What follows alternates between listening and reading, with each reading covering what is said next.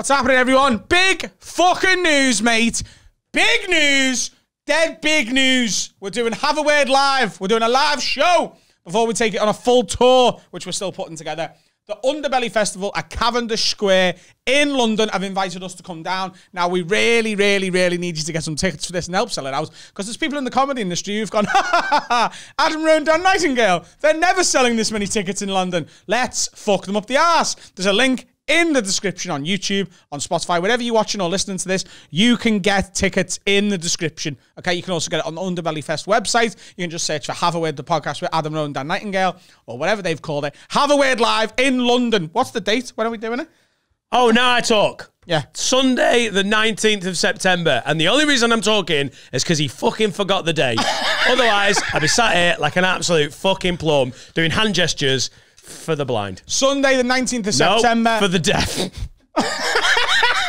That's why I'm not allowed to talk. Sunday, the 19th of September, the Underbelly Festival, Cavendish Square, London. Me, Dan, special guest, stand up, and a live podcast recording. It's going to be great. Please buy tickets and help us sell this thing out there cheap as fuck. If you live within an hour, two hours of London, Three. it's three, four.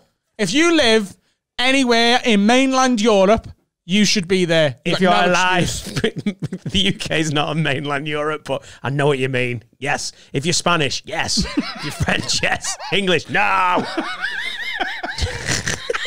it made sense in your head. Only if you're from mainland Europe, because we love doing this shit to Belgians. Fuck off. What's happening, guys? Just before we start this week's episode, I want to let you know if you love this podcast and you want more of it, you can get an extra episode every single week exclusively on patreon.com slash have a word pod. If you don't know what Patreon is, it's basically a way for you to financially support this podcast whilst also getting some benefits for yourself in return. You can sign up for three quid a month, five quid a month, ten quid a month, and obviously the more money you give, the more benefits you get. But even if you just sign up for that three quid a month, which is the price of a fancy coffee or a pint in a shit boozer, you get an extra episode every single week. Exclusive, no one else gets to see it apart from the Patreons, and you also get 24 to 48 hours early access to the public episodes as well. That's what you get. And on top of all of that, you get access to the entire back catalogue of the Patreon episodes. We've been doing that for like a year now. There's loads of content there. There's also the two lockdown lock ins we did in this room where we got dead drunk. They only go on Patreon. The ones we do in the future of them will only go on Patreon. If you support us, you get shitloads of content for us, and you can only get it at patreon.com slash have pod. Go sign up now, pause it here, sign up, and then come back to this episode. It's gonna be a belter! Did you get that shirt free with your second child? It's very dad with two kids that.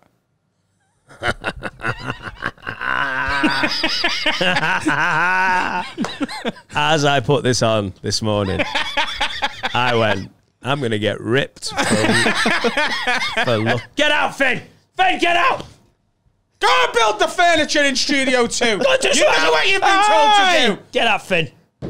Love you, Finn. Fuck off, Finn! Got to say love you at the end. Make sure you cut that out like you always do when we're Yeah, on yeah, Finn. yeah. Yeah, don't worry. I will shit on your arm. Cut that out though. Yeah, yeah, of 'cause course. It's just gonna end up fucking industrial tribunal, isn't it? Yeah. Turkey and Wales, shit countries!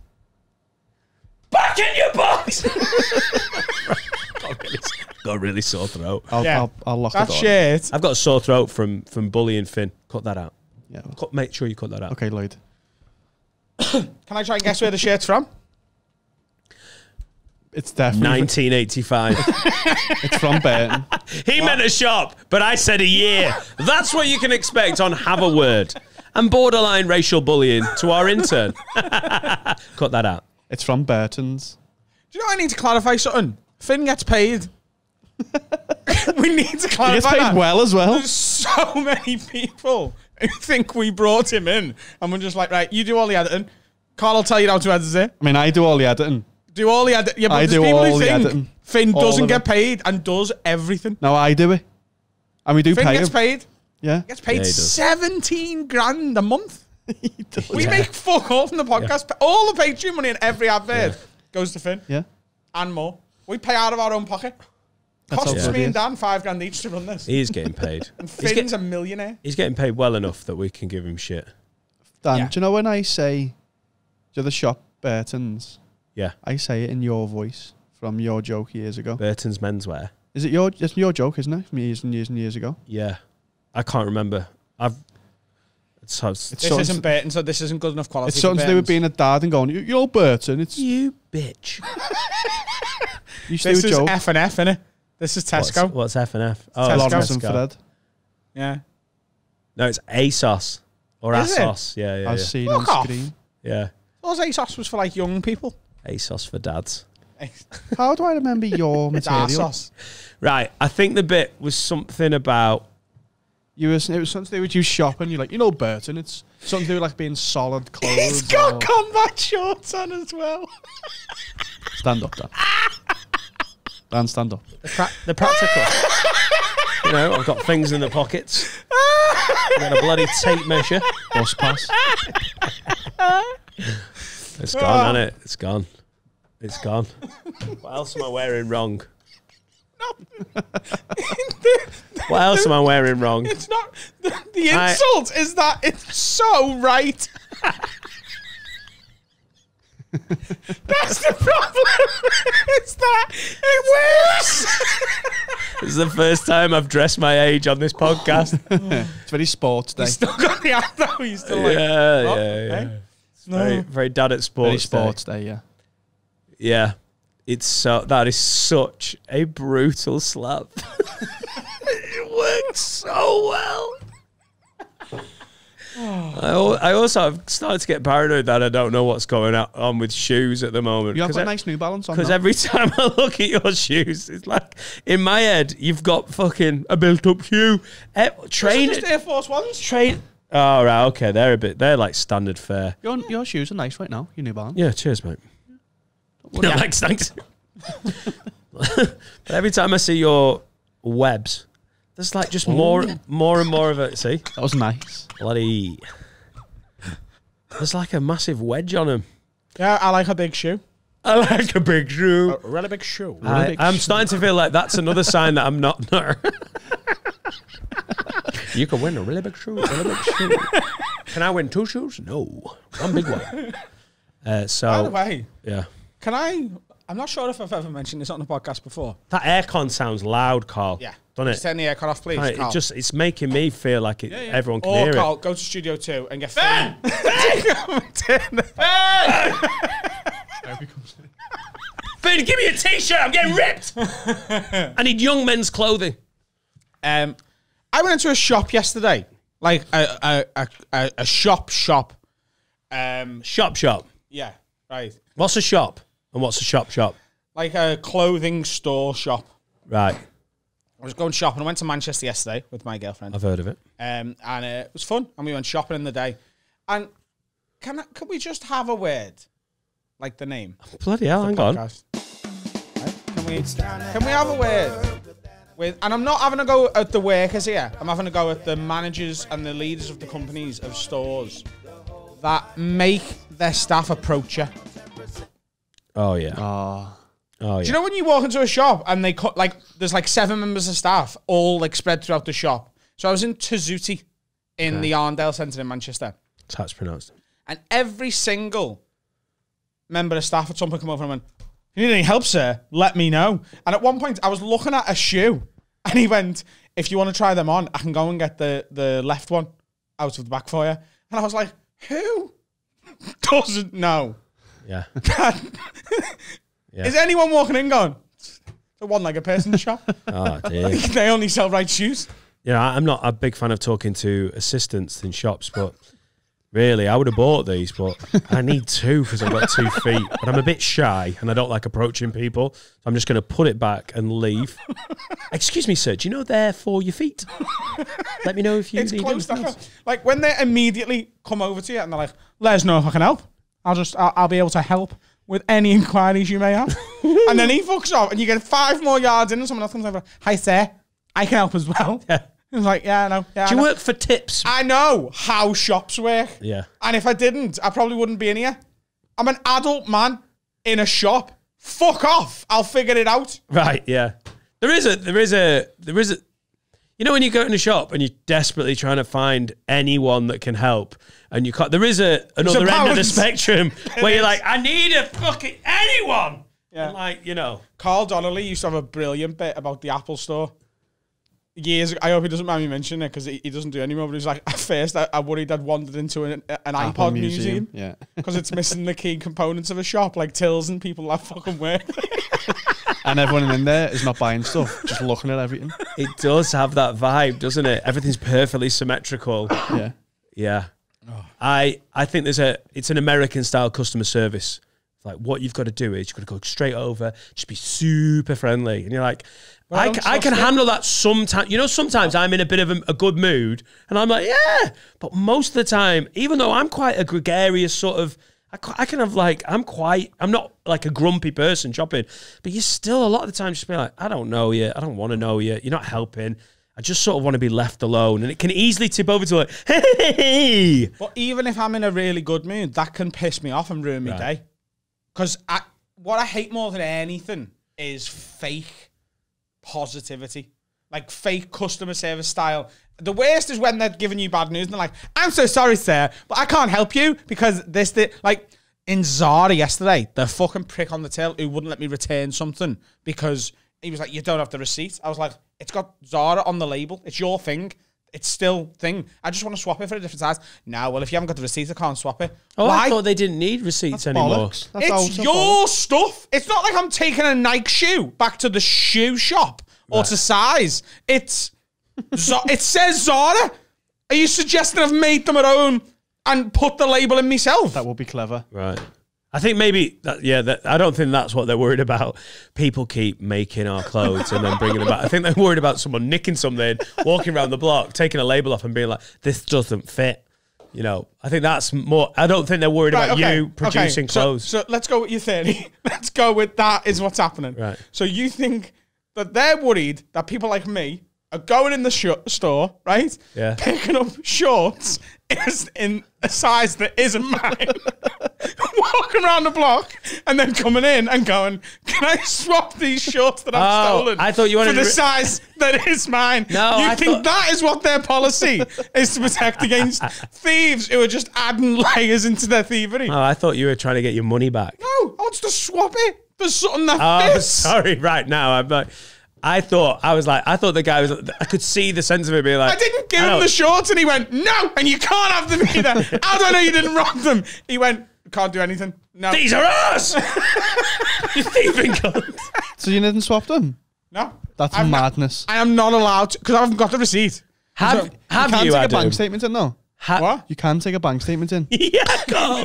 He No, you can, can. But you're talking Yeah. to Adam, bro. I don't know when I Can you bought them. imagine Adam turning up with a, few well, I haven't ago. got a receipt, but I've got these go bank statements. Whole thing. That'll be dead hard in your bank statement to go through and look for the word Zara. yeah, but I've been to Zara like four or five times, so I'd have to. I didn't just buy this pair of shorts when I went in, Oh, right. Ah, so You'd have to work it, yeah. I'd have to. I can't do that. You'd have to wear everything else you bought so we could add it up and subtract what he wanted. yeah, that makes sense. It gives them. Come. Why are you wearing a scarf? It's the hottest week of the year. It's on the receipt, lad. I'd like to uh, make a return. Let me just take everything off. Get these shorts. Uh, do I you have reckon- sw- I have sweated in them a bit. What do you reckon he'd do if you went into a shop wearing kecks, took them off, and they had the label on, and you had the receipt, and you went, "I want to swap them." Underpants, proper under No, underpants. not, not like like kecks as Trousers of the Right. jean variety. Do you reckon he'd Right. take them? You just You're don't, just like these. what are you sending them for? don't like these them. don't fit. No, you don't like them. I don't like them. It's Zara. I mean, at, T- at TK Maxx, you could. They'd be like, For oh, I an don't give a exchange fuck. or a refund. A refund? so just, I don't want them. you walk out And just with no walk- pants on and 12 quid. Would you reckon he'd do it? Cheap, that Cheap as well. jeans. Cheap, that one. The, the label smells of your arsehole. Because that can't be a policy. The label can't stink. That's our uh, we have a non-stinking label policy. I'm so sorry. You cannot return something if it means you walking around in your undies. Like, is he walking off in his boxes? Just got a return. He's well happy. 24 quid in his pocket. No pants on. Adam Rowe wins again. Didn't even have to get me bank statements out. have you got the receipt for anything in your life? No, and, and that's not an accusation because I'm like, ah, I, I don't have receipts for anything. No. I haven't. But I always keep it. Like, I don't, like, I get them to put it in the bag because I'm like, I won't lose it then. And then as soon as I get in, I take It's all the never clothes in the out bag. And just throw the bag out. No, but it's never in the bag either. The receipt's in it. There's no reason. Yeah, I do want the receipt, and I'll put it in my filing system of in that bag, and then do you it'll know be what it is? in a bag of bags. I'm a, f- I'm such a fucking dickhead because they all offer you the option for an email receipt now. And for some reason, despite the fact every time you go to a bar or buy anything online, you have to put an email in now. when it's in an in-person shop and they go, eh, because they don't go, what type of receipt you want? They go, can we take an email to send you the receipt? I'm like, no! Yeah, same. You do not get my data! I want pants, not emails! Fuck you! Away with you, beast! It turn, turn into a real tradition. I want a paper one! Print it now! Yeah. Fuck off! When in reality, it would be so much more convenient if in Inzari yesterday I could have just gone onto this machine thing and gone, yeah, mate. Here's your receipt. You fucking. I'm cunt." exactly the same when it's spoken. Can I take your email address? You're like, oh, you're just going to spam me. Oh, you're just going to put it on file. Oh, I'll get loads of offers through. Like I do every time I buy something online three times a fucking day. What are you going to do with the pants that don't fit? What am I going to do with them? Yeah. Oh. Hat. Hat. Yeah. Nice Zara hat. Hat pants. I've invented a new thing. Hat pants. Hats. Yeah, because it'll still be cool on your head. Pants for your head. hat pants. And they've got a belt with them. So even if they're a bit big on my head, just tie the belt. Would be hat. Would it be hat pants or pants hat? I suppose hat pants would be hats that you wear as pants. Yeah, it'd be This would be a pants hat. Wordplay is not one of our strong points on Have a Word. Let's get back to Bellend or Bumall, which I suppose is closely related to the pants. Manchester's quite good, isn't it? Yes, I fucking love living in Manchester. It's great. Went to a blues kitchen. A, a blues bar. There's Where was that? Singing the blues. Sound. Cocktails on a Wednesday. There's an offer. Five pound any cocktail. Oh, it's the best thing about being a comedian, isn't it? When you're like, I go out on a fucking Wednesday. When bars are like, customers, nice one. Instead of having to fucking queue like a bell end on a Saturday. It's really good. Love to, it. Went to a place called Sugo Pasta Kitchen as well for Right. tea. Food was amazing. Is this Northern Quarter or. It's Ancoats. All right, yeah. Um, Sugo Pasta Used to Kitchen. live there. So the, the blues bit is by Deansgate, and Sugo the Pasta Kitchen's up on Ancoats. Um, Wow, how did you get. That's. Uber. Oh, right. You, What did you Um, eat? that's I a got- big old fucking walk. The House Sugo, which was their pasta with uh, pulled beef shoulder, uh, pulled beef shin, uh, pork shoulder, and andouille sausage What was that? Like? sauce. What? The, the, Roll. bi- the It was delicious, but the staff were just they had like this chip on the shoulder. Oh, it's Yep. too far the other way. Yeah. Do you know, like, Could do you know eat what- them? What's happened recently, right? Do you know because we've all been very supportive of the hospitality industry, and like there's this whole thing of if you're a dickhead customer now, you just end up on the internet and you look like the dickhead because the years of the customer is always right is long gone, and in general that's right because a lot of customers are absolute Oh, bellend. mate, whoever came up with that like turn of phrase, wh- how did you ever come to that? Like the customer's always right. What are you talking the about? The customer is very, very, very rarely right. the customer, customer is is also regularly sometimes a shithead. not doing anything wrong, and Yeah. like, so you know in Bacaro in the film, Yeah. have you ever had the olives from there? You don't like olives, do you? No, sorry, because I don't know. So they're lovely and they come with salt on, Mm-hmm. right? So in there yesterday, we ordered olives as our like pre-starter thing, and they brought them. And then we asked for salt because we were like, we'll salt them like they do in Bacaro. And the woman looked at me as if I'd gone, Have you got any dead children that we could rub all over the table? Like she was really angry Yeah. that we wanted to salt our home. That's a hell of a special, that, isn't it? the old dead children rub. What do you we do peri peri salt and my dead children. yeah. I was being hyperbolous. Yeah, a little bit. A little bit. Why? What does she work for? Olive? Like, why does she give a fuck? She why? It was the, it was Why- it was why- that we'd asked her to do something that she didn't want she to do. for olives. Like, could you go over there and grab that salt that you do give to customers, otherwise you wouldn't have it? And she was like, Salted she olives. was like, you want salt? Okay. Who was she? Ivanka Who Trump? was she? Melania. Vad vad do you want? she said, that's what she spoke like. It was very, very good impression. She was a vampire. Want salt? Where was she from? What? Where was she from? And cuts. I didn't ask. I Where think did- she might have been Italian. Oh, okay. Why did you do like a Russian voice then?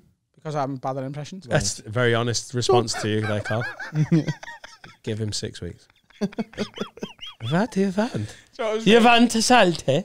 so it was really funny this morning. Um, as we were leaving the hotel, it, at the minute there's a policy of you don't share the lift because of the um, the- One, one household, a lift. yeah because of the coronavirus Great. pandemic. Laura loves doing that. Uh, no. Let the doors close. It's Well, leggy. So it's we were on floor nine. It stopped on floor six, and the couple on floor six went, "Oh, we'll just wait for the next one." And then it stopped again on floor four, and the couple went, "Can we just squeeze in?" And Sam was already pressing the button. she, she, but she looked right in the woman's eye because Sam was a little bit tired, right?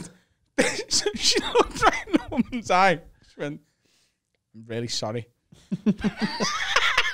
She's pressing the closed door. bu- The woman, can we just squeeze in and Sam went, really sorry. Can I just say, if she Adam, your if Adam ever fingers me, I know exactly what it's going to look like uh, with the apology. I'm really Oh, you don't sorry. go in with two. Are you going with three and work your way down? It's like working down the gears before you get to the traffic lights, isn't it? Yeah. Fist, yeah. which is fifth. Was it was it a nice hotel?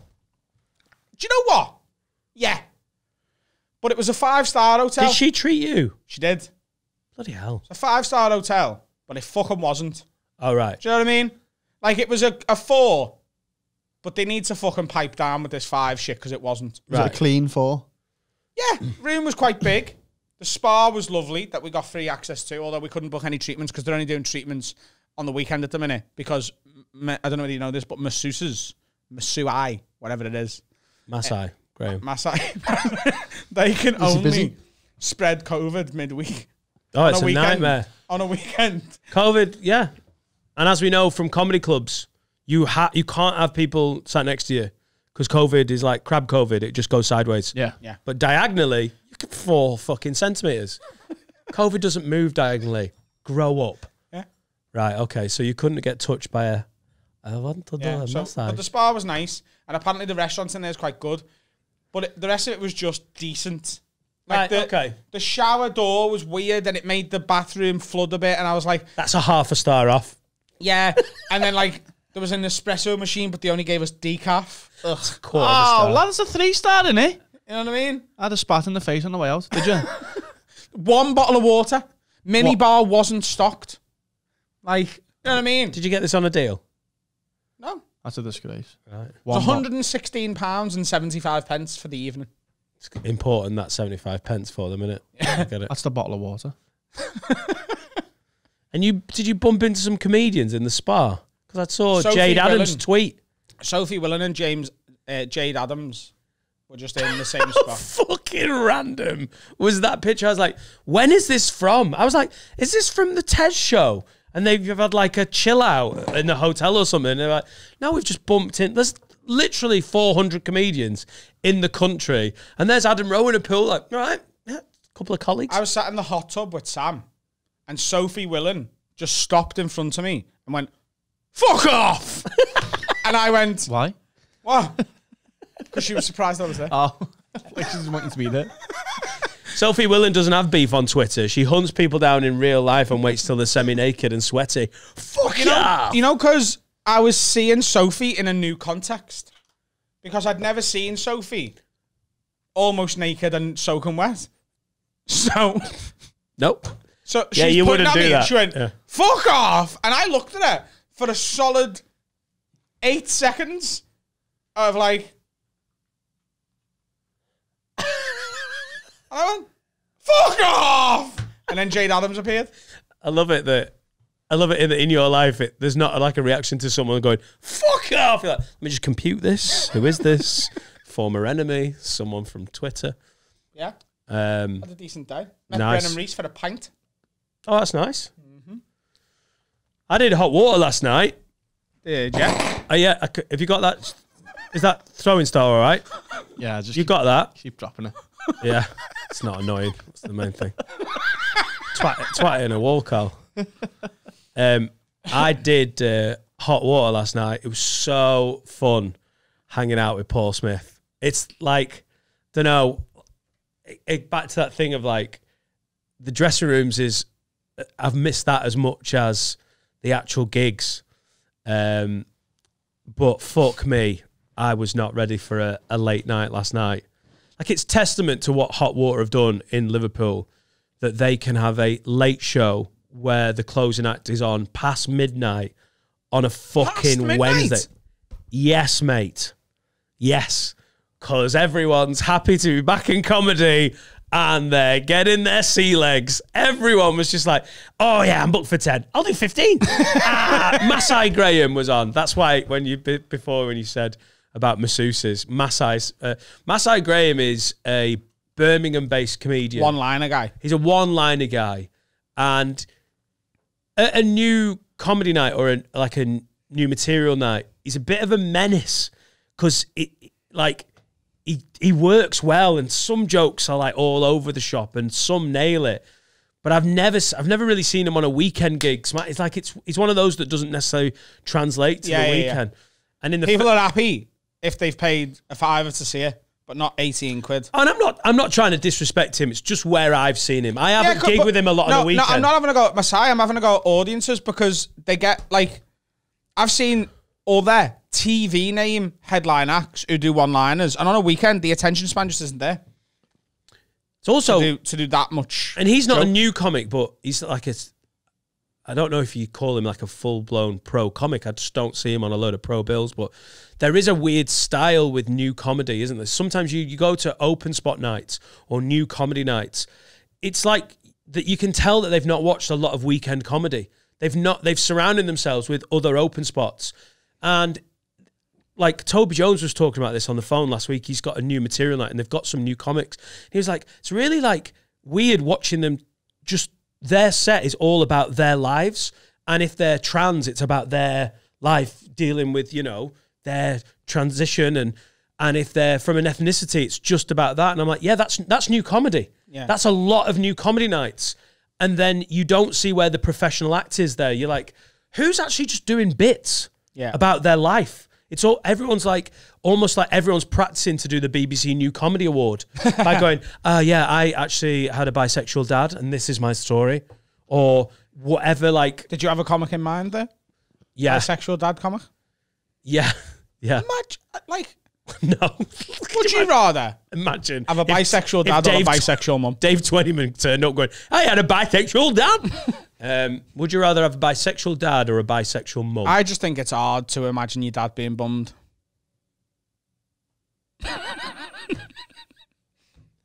Uh, I think, I think it's more. It's a lot. This might be wrong.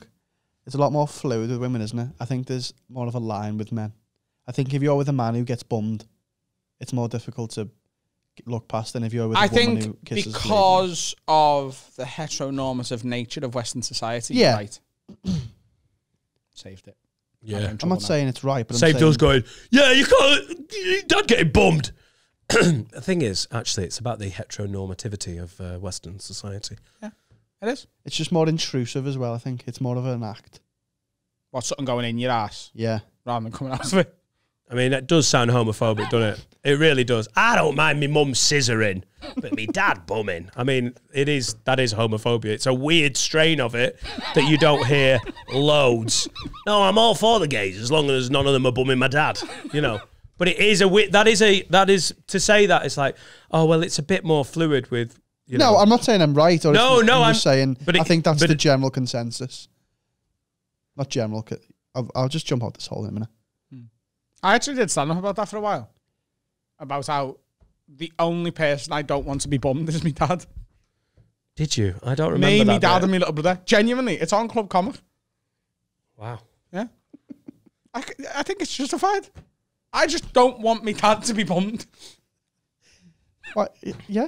Well, yeah, because he's not gay. Exactly.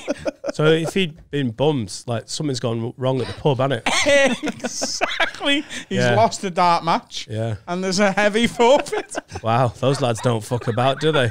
no. Down at the They social fucked my dad club. in the ass. What would you say to him if he walked in and went, lost a game of darts, got bummed? what would you say? Like, fucking hell, dad.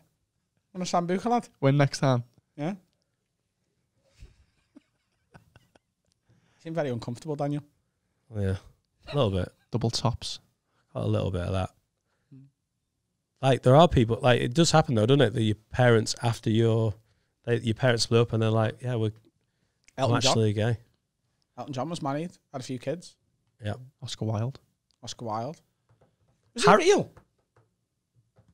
What Oscar Wilde. is he? What? Was he real? What do you mean? I've just I've heard loads do you of think quotes. he's a character? I thought he was like Sherlock Holmes. Yeah. Right. Cool. Yeah. I'm not even going to answer that. Why? I'm just going to leave it. Why? Comment below. Who was he? What did he do?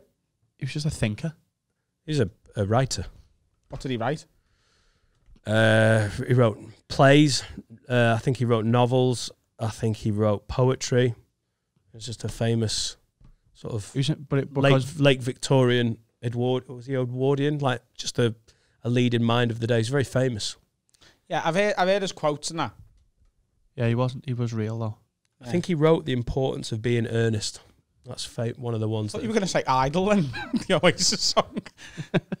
Wrote the Oasis song. They, they yeah. released it posthumously. Is he real? I wasn't sure. Do you know what I mean? Right. Yeah. I, I had a feeling he was. he is. Well, he Wasn't was. sure. Sorry. He's not laughing at me. But he's famously gay man. It's a bit, a bit of a different though, because he grew up in an era where you could lose everything if it came out that you were homosexual. Yeah. So a lot of them had, what do they call them, beards. Yeah, ladies who didn't marry. Yeah, I don't think he got to 26 and went, I've had a change of heart. I think he was always, you know, Yeah. Well, same with Elton John. yeah. I'm, I Right. think I'm, I'm not speaking for him, but as you say, they have beards, don't they? Because it's not back then. It wasn't as um, progressive and normal. Yeah. If you were gay, then you couldn't sing. I'm not trying to underestimate what it's like to come out now, but it's a shite sight easier than it was back in the day, innit? Yeah. I remember watching like the X Factor and a few years ago when like a man would sing. Uh, I think Britain's Got Talent was one as well. When Callum Scott sang "Dancing on My Own" or "Dancing on Your Own," whatever the song is, and the lyrics are, "I'm in the corner watching you kiss her." Whoa! Right. Thanks for that. Now that, So and Simon Cowell was like, a bit weird that, because like that's a a girl's song, because she's watching him kiss her, and that's why she's upset. But now you, a man, are singing about watching him kiss her. right. Yeah, and Simon Cowell's like, it's a bit weird, but you you can sing. And it's like, yeah, but what if the guy kissing the girl in the song is bisexual? And it's the heteronormativity of Western society that made Simon Cowell uncomfortable. Does everything you have to sing about Simon Cowell. Mate, Simon Cowell, you're on thin ice there, fucking pointing those fingers, aren't you? Whoa, whoa, whoa. Is he's there with his like spray tan and He his looks like an odd man now. um, There's Yeah. been rumours for years that Simon Cowell's gay, hasn't there? Really? Yeah. Yeah. Where? Where were the rumours? I've just seen them in the papers On the walls. on the walls of pub toilets. Simon Cowell is gay. Yeah, yeah. I've heard. But like he's never really had is a Simon missus, Cowell he? real? Is he? Is he real? I think he was a thinker Yeah, all right, yeah. But like Yeah, he, he's never really had a missus. He was shagging Sunita famously from Corrie. years ago. yeah, Dev was pissed off. It's so much easier to be. I can't believe he said that within the realm of entertainment. Like, fair enough, he was like the foreman of some fucking timber yard. You'd be like, yeah, they're not that progressive, but Simon Cowell should definitely know fucking better. I Like, think he's just he's such a businessman, isn't he? right. So he's like, I know what sells, yeah. and gay stuff isn't that. Right. Like that, that's what he's doing, though, isn't he? He's like, you're a male pop star, so we need to. That's how he thinks. He, he he's a, a music mogul, mogul, Mogul, yeah. mogul. So he's like, It's a music we mogul. need women to want to fuck you all of the time, forever. You could see why, if you were gay or from the sort of LGBT, uh, why that sort of attitude, it's it's like institutional homophobia, isn't it? It's fucking annoying. percent. But it's only like in the 80s when I was watching Carry On, like it's so funny how people were like, no, like Frankie Howerd like, oh, wow, oh, wow. and Kenneth Williams like, oh, We're like, are they gay? And Man Underground were like, Kenneth they're just a bit, you know, a bit feminine. Yeah. Gay. No, they didn't. They, I don't think they were like. They were like, no, no. It's just a bit of a, you know, just a bit of a lovey. Because to them, it what they weren't gay. They were like, no, no, they won't be gay. They're like, they definitely were, Nana. They were like, ooh. I'd love to go back to like the 60s and 70s and just watch a conversation and just how fucking weird it'd be. Yeah, they had to hide it. So fucking and it's tragic. in all of like every time someone writes a thing about like Friends, the TV show, and they're like, uh, "Oh, it was really fatphobic and homophobic, and no one should watch it anymore." It's like, well, I think people should still watch it, and you judge it from its time, and we've discussed that before. But it really is like every tenth joke about Chandler is, "I thought you were gay when I met you." Yeah. Monaco's big fat dickhead. But what is it on the Berlin Wall? They put- if, if you were raised past you, then you're condemned to repeat it. Right. Well, that was a deep moment, Carl. It's on the Berlin Wall. You're not, you're, think you're it- not, I think you're not wrong. If you were You're not raised past and you're condemned to repeat it, that's why they keep the, the bit of the wall up and stuff. Yeah. I I don't But necessarily fli- think that's true, though. You know what I mean? I think if you knock all the pyramids down, I don't see them getting built again. It's a great point. I can't argue with you. It's going to be hard. Apart from to in convin- Stockport. It's going to be hard to convince anyone to take that job. Yeah, I don't think you understand what I'm saying, do you? I think it's more of a metaphor. Yeah. But you've got to put it into realism or the metaphor's fucking useless, isn't it? The fat jokes in Friends are absolutely brutal, to be fair. yeah. Like, I, I don't think we are the most fat friendly pair of comedians on the circuit mm-hmm. Because a joke's a joke and it's, you know, but I, I can see why, if that's your issue, you're like, you dressed a tiny, skinny 25 year old Courteney Cox in a fat suit to be like, look how fat she was. but she, was. lost the weight, so it's fine. no one would fuck her. By the way, Matthew, have you watched the reunion yet, Dan? I've seen the pictures. Like, jo- Matthew Perry is not.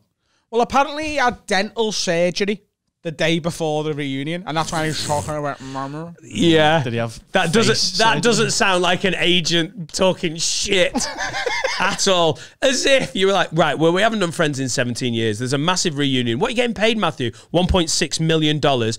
Oh, but fuck me, you've got that dental thing before, and you know because of COVID, it's a fucking nightmare. You can't repeat. But like, you're a multi-millionaire. The guy's worth 80 million dollars, but you're like, dentists are a nightmare for cancellations. They charge you 40 dollars if you cancel. So obviously, we'll have to do it. The only two normal ones are the two who haven't had any work done uh, Phoebe and Joey. They look the Phoebe's had a bit of the old boot up. A little bit, but she Yeah. looks normal. Whereas Yeah. the others look like Jennifer masks. Aniston. She looks like Jennifer doesn't Aniston looks pretty fine, though. Doesn't No, she she? looks. No, she, no, she, she doesn't. she she looks good, but the, like she looks like, and I don't want to do all this whole. But she looks like she's had work done. What a, I'm not doing that. But like, she doesn't look Normal. normal. Neither does Ross. Whereas Joey looks like they finished Friends, and he went, "I'm gonna do my own one." By the way, watching a Friends reunion and, And having them it. not once reference that the TV show Joey ever existed. Like at no point did James Corden even uh, who was hosting it like get, turn to him and go, "What are you fucking thinking, Matt LeBlanc?" Like they didn't even do that. Well, they, there was a slight reference. They went, they're all main characters. They could all be the main character of their own show. Yeah. I was like, Yeah. say it now, and he didn't. Yeah, They've erased history, so you never know. again. Yeah. That's how bad Joey was. They were Yeah. like, I "Well, what if we though. repeat it? Fuck, it doesn't matter. Just erase it, delete that shit." I watched Joey. yeah, it wasn't good. No, but it was Joey's. You have to watch it. Yeah, Jennifer Um, Aniston. I just watched Horrible Bosses because Sky threw it up. She looks great. In that. Sneaky, Horrible Bosses is such a funny film. Yeah. It's really good. And uh, Jennifer Aniston in that, I know it's like 10 years old now, but Christ almighty, she looks amazing. Yeah. I was never that bothered by Jennifer Aniston. She is, she's like improved with age compared that- to Matthew got- Perry but- and like But Matt now She's gone. She's hitting the. Right, okay. But Matt LeBlanc looks like he finished Friends, had a go at Joey, and it didn't work. Right. And then his agent went, right, well, you know, you got these film options, and he's gone, look, I've just been on a million dollars an episode. I can't be asked anymore. I want to go and sit in Frankie and Benny's for 20 years and just keep eating pasta. I'll have some beers. He does Top Gear, doesn't he? Mm. Yeah, but he doesn't look like he gives a shit about it. He looks more like he's into IPAs than he is Has he done Top anything Gear. else? Has he done any other? No, he's not done loads. I can't has think he? of anything he's been. in. I can't think of anything. That's what I mean. I think he's just had 20 years basically off. yeah, with his and money. and he's done exactly what I would do with 20 years off and 200 million in the bank. But that's why I think it's more startling. The eight, the, because uh, David Schwimmer's just done a set of adverts, hasn't he? And I haven't seen David Schwimmer in virtually anything. I've seen him pop In up a couple of times, couple of times, but nothing I've watched. Entourage. And then he's doing those adverts. He's he's still dyeing his hair so that it's jet black. And you're like, holy fuck, 20 years have gone by and you look older.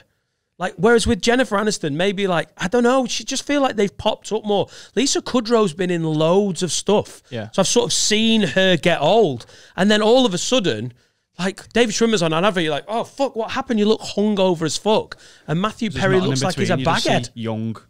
You just see young to old. You just, Yeah. yeah. Matthew Perry looks uh, ill. Matthew Perry looks like your granddad's mate. And I mean your granddad's mate. Like 80 odd years of age, fucked. Yeah. Like he looked really, really, really old. looks frail. How did he act? Were they all on good form? or- No, no. He's he's he, if you watch it, He's like, genuinely, he's leant over and he's frail. Yeah. He looks fucked. what did the dentist do to you, Matthew? And the camera doesn't. Be- the camera barely cuts to him if he's talking. It's a very wide shot. Yeah. It's very like let's not look at Matthew Perry's face. Yeah. Can't wait for the have a word reunion in 17 years where all three of them. Finn's looking beautiful. He's had work done. He's now called Susan. Amazing. The, the have a word reunion is rough. But yeah, Remember when we used to talk about bumming dads? if you haven't watched it yet, go and watch it because it was really happy, sad, wasn't it? Yeah. It's it was it was good. I think it could have been done slightly better, but it was good. Yeah, it was happy. It was happy, but also like got you in the feels. Yeah. Yeah. Yeah. When's the two pints of lager, packet of crisps, and a packet of crisps reunion? Is that They do a podcast every week. they do a podcast? yeah. Yeah. Apparently, uh, from Two Pints, there's one of them from the main cast who just doesn't keep in touch. Like she's just like fucking hate it. Who's Oh, really? Louise? I don't know. It's not Sheridan Smith because she still talks to Ralph on Twitter all the time. I've seen that. Um, and Sheridan Smith comes across as really sound, doesn't she? I wonder if it's Donna. Maybe. Can't be easy to work with people over a pr- prolonged period of time and not get fucked off with each other. Like to have all. T- has there any been ever been any beef with say? the friends? Trying to say? With the fr- well, no, we're fine. No, they said they said at the start they were like we're all best mates, and you can tell when they see each other, they're like genuinely like overwhelmed to see each other, like hugging and kissing, like oh, I love you. All of the friends cast. All of them together. well, if they say at one point, like if they would ever, if they ever got to a party, even if they were with, let's like like Matthew Perry went with like a friend of his to a party. If any of the other cast were there, they just spent the rest of the night together talking, and they they have to just say to the people we were with, look, I know we're here together, but you're not going to see me for the rest of the night because I'm going to talk to David. well, they got accused, didn't they, by the uh, the guest actors of being very cliquey. Like they weren't very inclusive. They're friendly enough, but it was very clear that like be though, wouldn't you are you are not one of these six. So when like Paul Rudd had a major role on it, didn't he? Like there was a there was those rumors of like, yeah, you're not part of this team, and you're like, yeah, because you're not. Because if we have a guest in, we're super friendly to the guest, but they're not part of the have a word team. There is a fucking difference. I don't think that. They don't get to shout at Finn. No, oh, they can't talk to Finn. mate, if anyone Punch their head in. if anyone sat on that car, I don't give a fuck who it is. We've got some big guests lined up, dared to talk to Finn. How me and Adam talked to Finn. be fucking appalled. Where are you? Fucking. He's being very quiet. Good. He's being good. He's really Do you know I heard th- this was like eh, after like series two of Friends, you know, it had proper kicked off and it was like the biggest show in the world already, with still eight seasons to go. Like all the actors, the the main actors in it, their agents were like, "You're going to be the breakout star, so we're going to get you." And this, I seen this years ago on an old Friends documentary on the TV channel E. Yeah. Um, there was a Friends thing on that, which was great. It was actually better than the reunion. Know Like if you if you've not seen that one, then watch that first because it's actually better. And apparently, all the friends, like the the main six actors, got together in a room with no agents and went, "Look, my agent's saying this, and I know yours will be. So we need to make a contracted pact now that none of us ever get paid more than any of the other. So if if one of us gets offered a million dollars an episode, you've got to give us all that. Like we can't be like being auctioned off against each other because it's just going to cause murder down the line. And they stuck to it all the way to the end. And by for series nine and ten, they all got a million dollars per episode each as a basic salary. Yeah. So if you ever need to know why that's worked out as a as like colleagues and friends, that's part of it. Like me and Adam get paid exactly the same on this, and it doesn't half keep. I don't know. It's little things like that. You could have, you could have like demanded more, couldn't you? You, had, a, you had a bigger following when we started. We are free to get our own sponsorships, and this week's episode is brought to you by Pepsi Max Cherry. Mine's, Uh, mine's mine's, mine's Tang- Diet Coke. Tango on mine this week. Mine's Diet Coke. Pepsi Max Cherry. Tango. For, for when you want a Pepsi Diet Max Coke. to taste a Tango. bit more It's like better. cherry. Uh, it's- I want money, Tango. Diet Coke. Pepsi Max Cherry. Evian. For when Pepsi Max isn't No. cherry Shh, enough. shh. Evian. If you have Diet Coke, you'll fuck a really hot man that's doing the windows at 11 a.m. Patron. You'll get bummed. Your dad, give it your dad. Patron. He'll get bummed. Give me Co- money. cocaine for, for for when you're tired and you're drunk, but you don't want to be either anymore, but you don't want to go home. Geoff Norcott, if you really want to piss off all the socialist listeners of your podcast, he's got a, a book out and they can get really noncy and whinge about it on Ninja Patreon. Stars. I'm sponsored by Ninja Stars this week. Buy your Ninja Stars at ninjastars.com. Uh, s- uh, merch. D- Draymond Weatherby merch. I'm sponsored by Draymond Weatherby merch. This podcast is brought to you by Have a Word the podcast. Yeah, pay us have a word. yeah. No, they're paying me. No, no. Oh, um, They're sponsoring me. So this month, out of the Patreon money, two grand, you got to pay me because the podcast is sponsoring me, and I made the executive decision. You weren't in the meeting. It was just me and a representative of the podcast, which was me. Have a word. The podcast brings to you. Have a word. The podcast. Yeah, I retract yeah, everything I said we before. vetoed that one. Yeah. I that I actually own all the podcasts because we remember the lock in when we made a bet. Wet wipes. Um, let's have a break. Money cunt. Wigs. Shoes. Wigs. One shoe. Wi- wigs for for when you're bald and you think, no, I'd rather not be.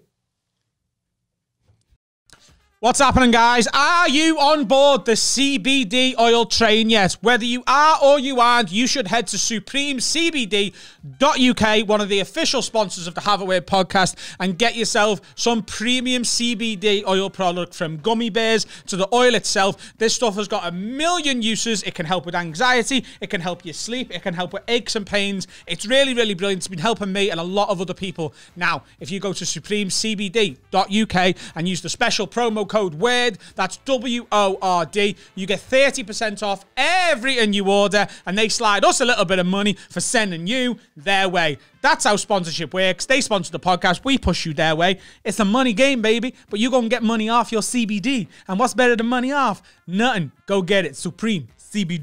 SupremeCBD.uk. Uh, Feeling a bit fluey. It's because it's because last night I'm No, no arm's not in shot, is it? I, no it's not. I sound I sound like a pussy hole, Yeah. but I could have done without a, a late show last night. And when you when you're doing hot water and they're like it's two shows on a Wednesday. By the way, I fucking love that club, but I particularly love it when there's a midweek crowd. I, what I meant to say before was like at midnight, it had overrun by half an hour. You know, when you get to the end of your 15, 20 minute set and you're headlining, and a lot of the time you'd be like, that's too late. Masai had overrun. Everyone had just let it wiggle out a bit. And I understand, I wasn't even eggy. But the crowd got to the end, and you get a sense as a comic when the crowd's got more in them. But it was five past 12 on a Wednesday. I was like, you bunch of fucking animals, you legends. They were, they were like, we could do a bit more. All right. Any, like, the, the magic of hot water. Also, Liverpool, you can only do it in the big cities. Liverpool, if hot water was from Glasgow, Manchester, they could have probably made it work. But just to get to the end of a set and have a crowd be like, yeah, got to do another bit if you want. It's fine. I was like, why are you all on furlough still? Who's got jobs? I was like, I'm not asked. Don't worry about Well, it. people just want to be out, don't they? But- like Manchester was chocker last night. That blues bar was packed. We we had to book Oh, yeah. for food and then get there and go. We don't want any food. We rang up and went, "Can we out? Can we come to the bar?" loved you. They were made up. all right. So we rang up and went, "Can we book for tonight?" And they went, uh, "Well, we're not taking any walk-ins to the bar tonight, so unless you've got a food reservation, I'm afraid you won't be coming in." Ah, yeah. And we went, "Well, can we just book for food then?" And they went, "What time would you like to come?" We're like, "What time we got available?" She went, "Only 11 p.m." And we went, "Yeah, we'll come for food." 11 p.m. Straight after our meal appointment. Yeah, Our, yeah. our meal And then we walked in, and she went, "Meal appointment." meal appointment. What do I mean? We have a Reservation. meal appointment. Reservation. I mean, it literally means the same thing, but it made me look a bellend. I'm here for my meal appointment. Um, I'd like to masticate on schedule. we walked in, and they went, "Just for drinks?" And we went, yeah. And she went, yeah, no problem. Come over here. Yeah. See, I get. Listen, I get that everywhere's busy and there's bookings. We're planning ahead. I'm going out for drinks with the boys next Friday in Chester. It's already booked up. It was booked up last week because I was like, oh, I gotta make sure.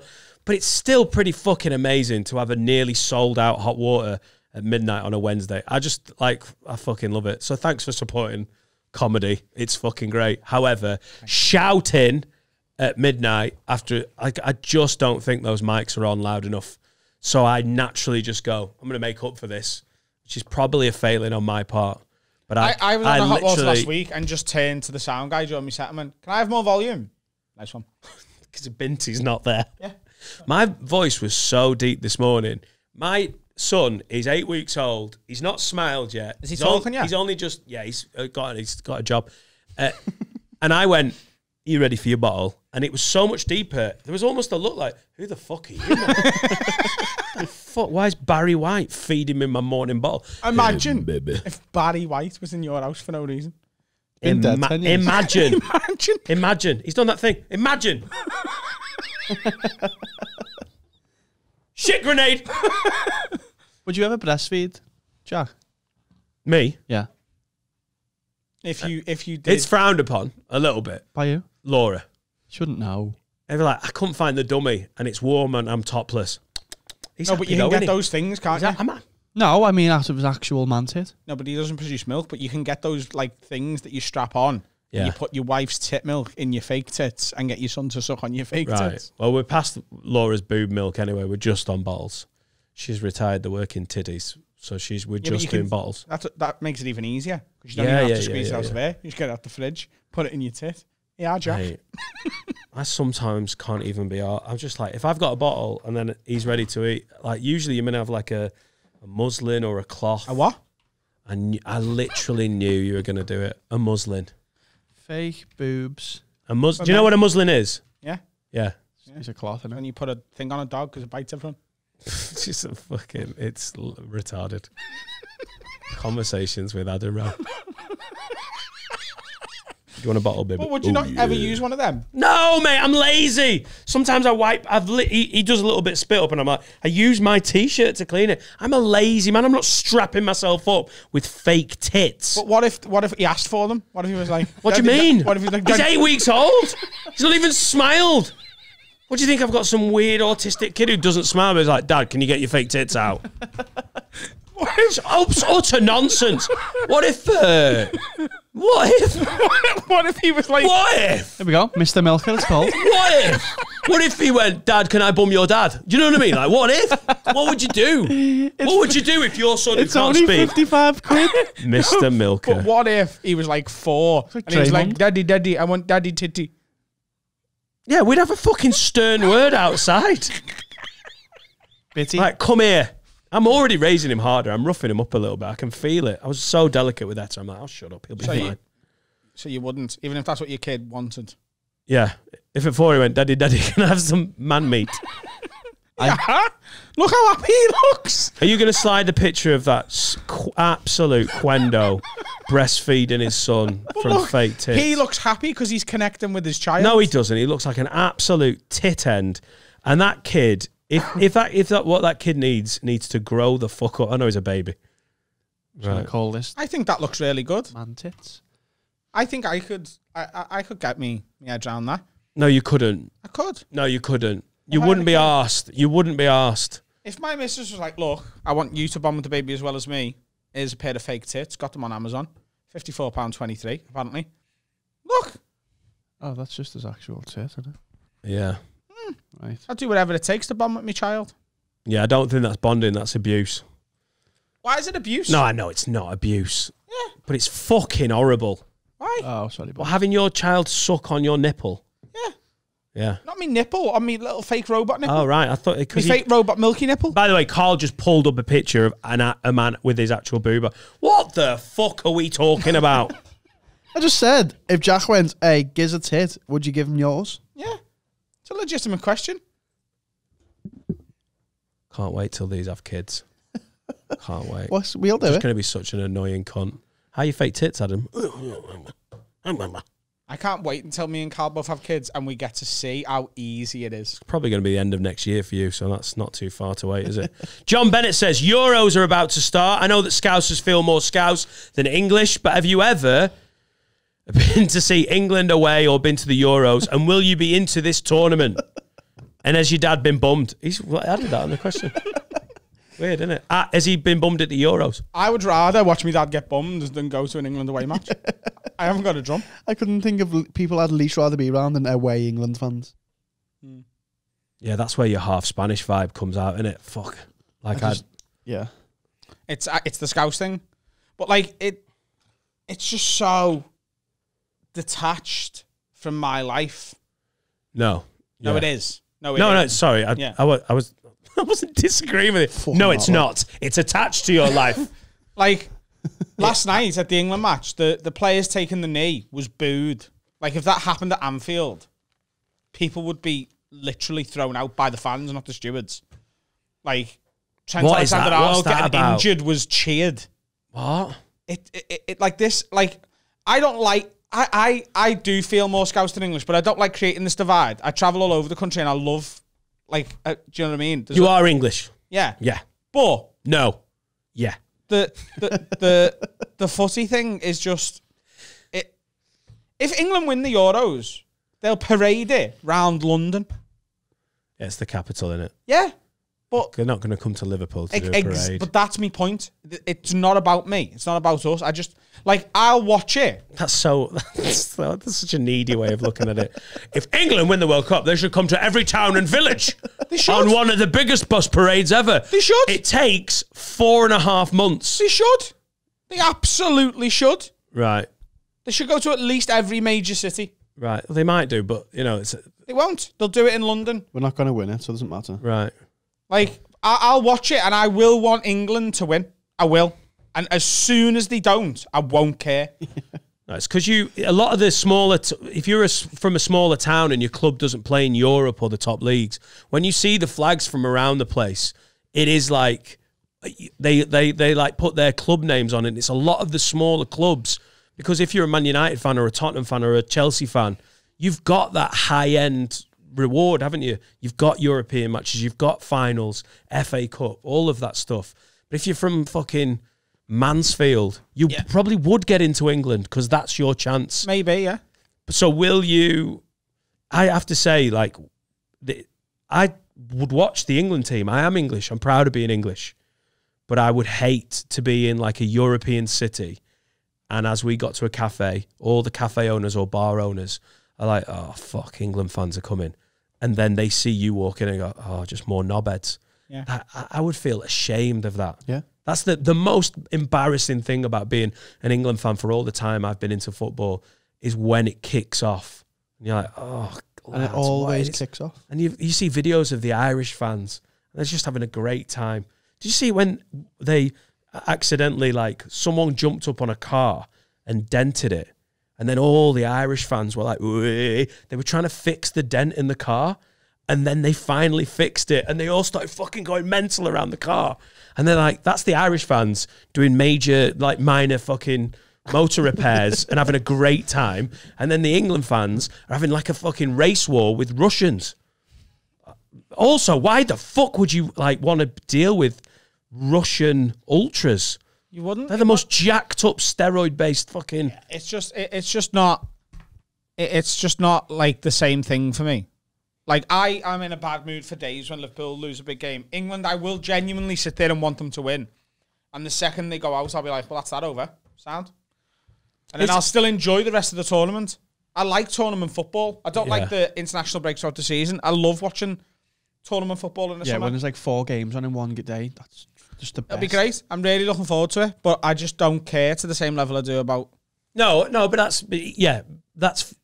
But it's more of like you are still in England, and like it, I feel like sometimes with this that you being a Liverpool fan is obviously the most important thing, but like take that away, it's so sad that we're all English.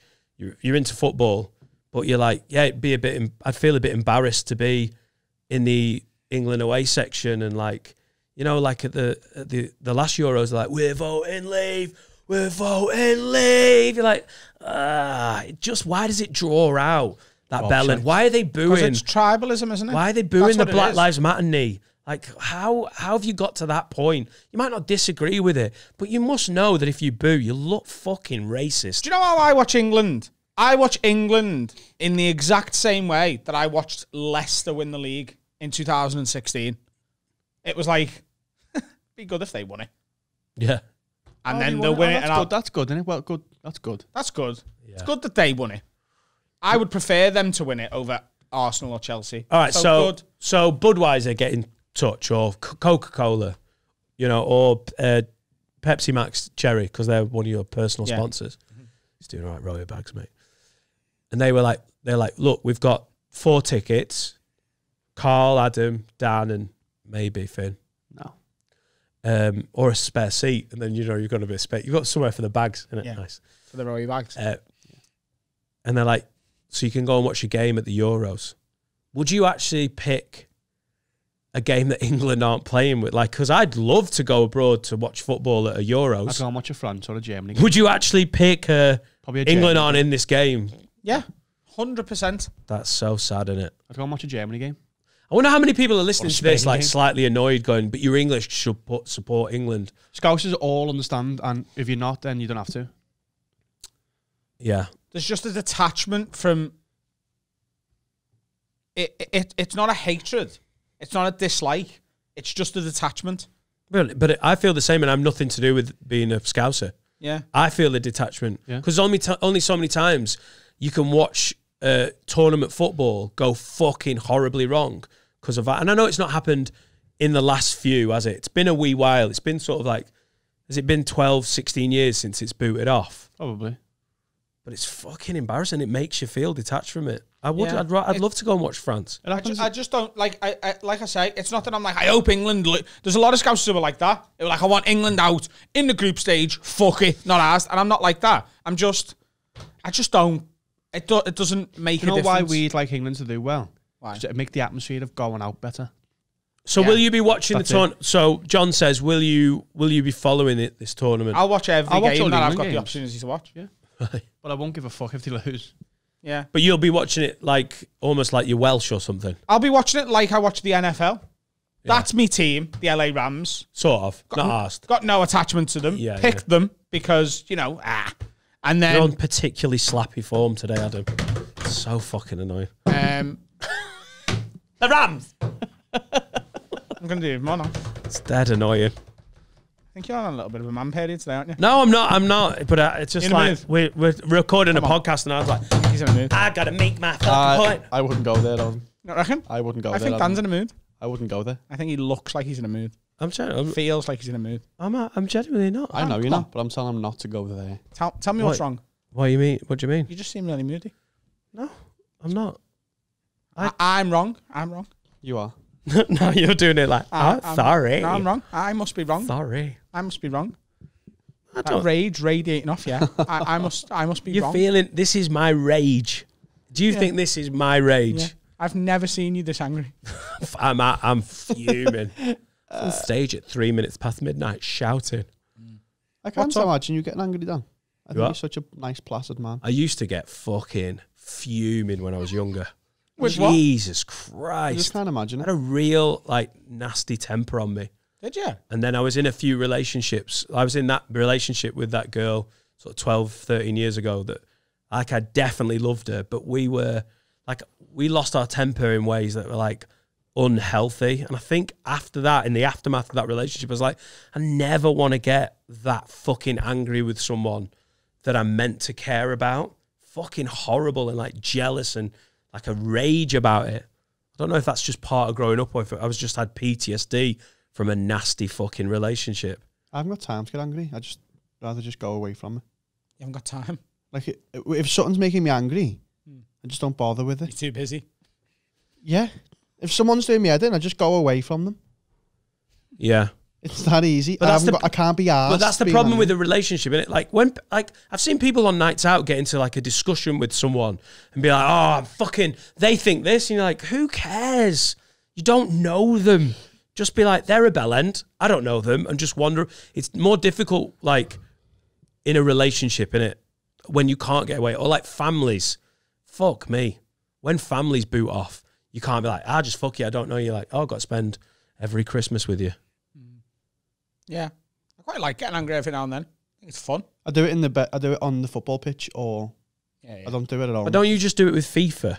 Yeah, pretty much. Yeah, that's Yeah. a good It outlet. gets it out. It's a good outlet. Yeah. Yeah, it is. It is healthy.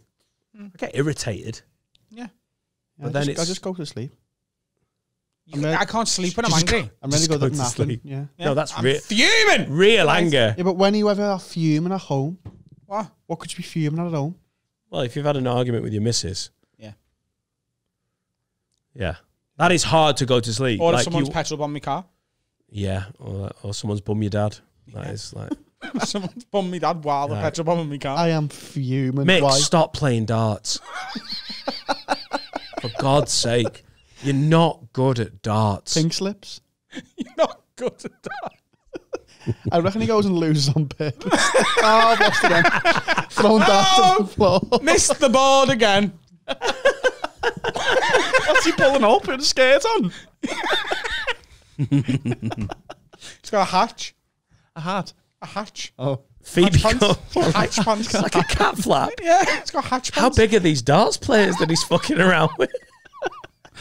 An ass flap. No, it's, ju- it's just a bumhole sized flap. I'd only play darts with small men. They don't exist. Graham wants a game. what about Deshaun? Nah, mate. Um, I can guarantee not one member, not one person ever called Deshaun. has played darts.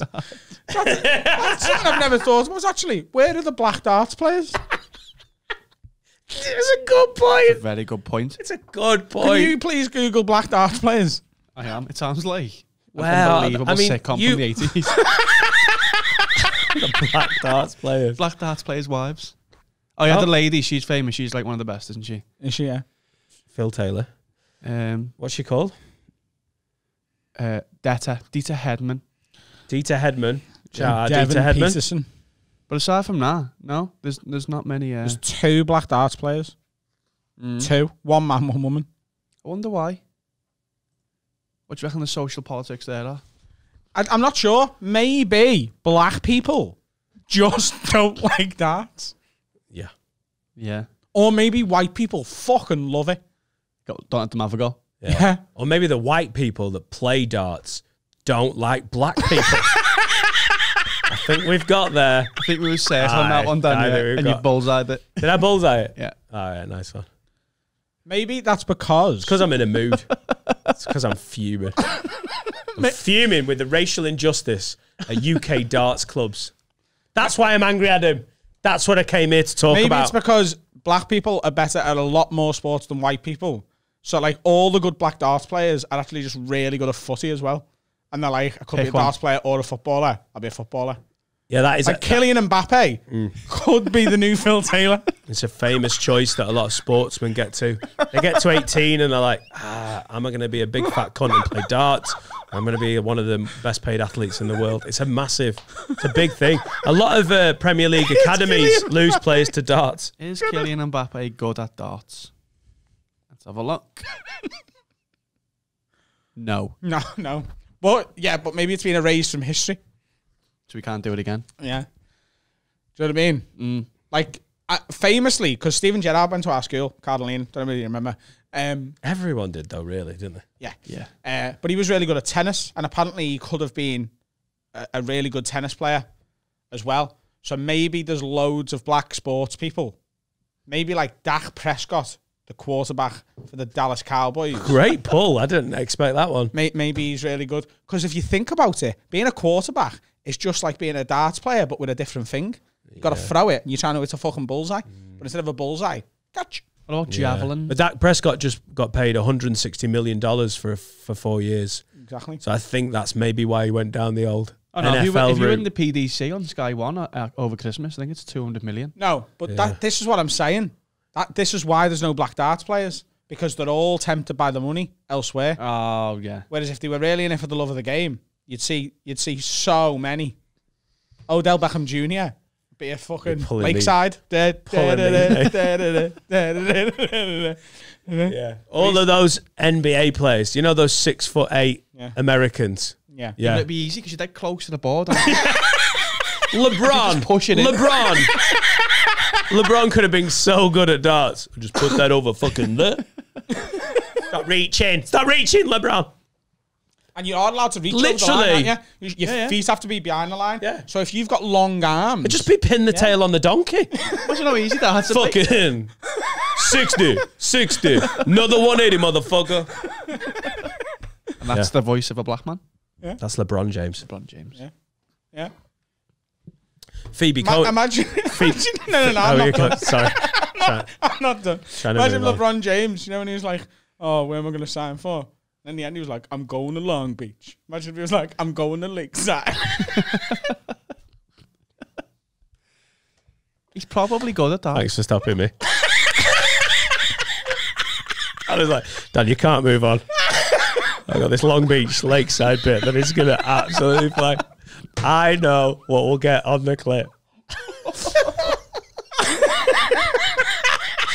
He's got, he got watery eyes. I love it. One of my favourite bits is where Adam gets watery eyes. You know we're having fun when Adam's like leaking. I just, I think we need to make darts more accessible so that you can do darts on the side as well as another sport. Because I think we're depriving the darts world of some superstars just because they're busy, you know, playing Making footy. way much more money doing something else. Exactly. Maybe we need to put more money into darts. Maybe that's the answer. Who does? The world. we can do it. Have a word darts. The world, we need, the government need to fund darts. I mean, the NHS is fine. Stop whinging about the NHS. Waiting lists. There's no black people playing darts. Come on, Bojo. Get your priorities right. Uh, we're, uh, we've announced a massive three billion package for darts. That's for one year. Yeah. The PDC World Championship, you get three billion quid. then you'll see black people playing darts. Yeah. You'll see fucking everyone playing darts then. I'll be playing. Arlington. Yeah. Yeah. Steven Gerrard played tennis. Mm. That'd have been fucking random. And apparently John Welsh was really good at badminton. Right. Mm. I Again. don't, I don't think he knows who John Welsh is. John Welsh was he? A, does- he didn't quite make it at the top level. No, That's he's a Tranmere now, I Was think. he a centre back? I think he plays in Australia now. Oh, does he? I know he, I know he played in the lower leagues for a while. and He was at Liverpool when he was a youth. His brother was It'd be our- good to have a northern working class tennis player rather than a like a Tim Henmany or like Andy Murray's obviously Scottish, Greg Rusedski, the Australian Englishman. Canadian. Was he Canadian? Yeah. Sorry, yeah, Canadian. I reckon I could Like have been a all of our tennis. top top athletes. at short tennis was funded, which is the next one after darts, I think. Then I, I could have, you know, could have gone quite right high in that. What? Short tennis. He short wooden, tennis. wooden bats. Yeah. Yeah. I got yeah. I, I got to the semi You could have been qu- quite. You could have been one of the best at that. Yeah, well I was one of the best at it. Yeah. There's about 52 people who've ever played it and like, alive. I What could have been top 10. Well, I was in the top four of those fifty two. What Yeah. other sports? What other sports should we uh, fund? Should be funded. Yeah, underfunded sports. I think the American sports are quite underfunded over here, aren't they? It'd be great. Yeah. The Major League Baseball, the, the UK government don't put any money into it. Canceling it. It's fucking really short sighted. You're absolutely right. no, but what I'm saying is it must be good because their stadiums are full, so the market's there. We're just not tapping into it. The economy could be stimulated if you had the fucking What? the Swansea batting practices or. The Swansea batting practices. NASCAR NASCAR. on the M6. I'll tell you what I think would be really good. Don't get if you baseball. invented a, a car racing, but everyone just got like a 2017 Ford Fiesta. Like you just had to go to People's Ford in Bootle. You get between 10 and 15 grand for a car, and then that's what you're racing. Yeah, it's like the star in a reasonably priced, priced car on Top Gear was one of the best bits. Oh, yeah. Watching like Lewis Hamilton and like film stars twat around the most boring, like, what was it, a Kia piece of shit or a what was I think it? it was the 2015 Kia piece of Was it shit. the 2015 or was it the Was Daewoo Dacia Sandero was the bag of second one. cack? It was a um, it was a Was it the Hyundai. Ford? Meh. It was a Hyundai. and it was a Hyundai. Was it? A, there's a Hy- Hyundai. of a thing. I'm gonna Top Gear. There's a Hyundai Oh. Jizrag. I'm sure it was a Hyundai. Dodgeball, I think, is underfunded. Yeah. It Yeah, was quite big after the film come out, wasn't it? I used to play it in the street for a bit. yeah. The professional leagues aren't up to much, are they? Hmm. Yeah, it was a Hyundai. Yeah. Fencing. Fencing. Are you just thinking of shit sports? I'm thinking of sports that don't get enough attention because there's not enough money in it. But if there was money, you could put money in anything and make it sound good. Do you know what I mean? right. Like we we love football because we were brought up being told this is the sport to like. The reason Americans don't like it is because they're not brought up like that. They're brought up being told baseball, basketball, NFL. So if we started now, we could get the next generation of British kids into, Into- fucking anything we wanted. The NBA. Snail racing. Yeah. Oh, Anything. marbles. I don't think there's l- many British kids getting in the NBA, even if they want to. Why? I just don't think we've got some of the natural resources. No, they're all playing darts. Yeah. Those big six foot eight kids from Swansea playing darts. Yeah. I'm fucking great at this. Llewellyn, you're fucking cheating. No, I'm not. I'm massive. Llewellyn. Lawrence. What? Laurence Llewelyn Bowen.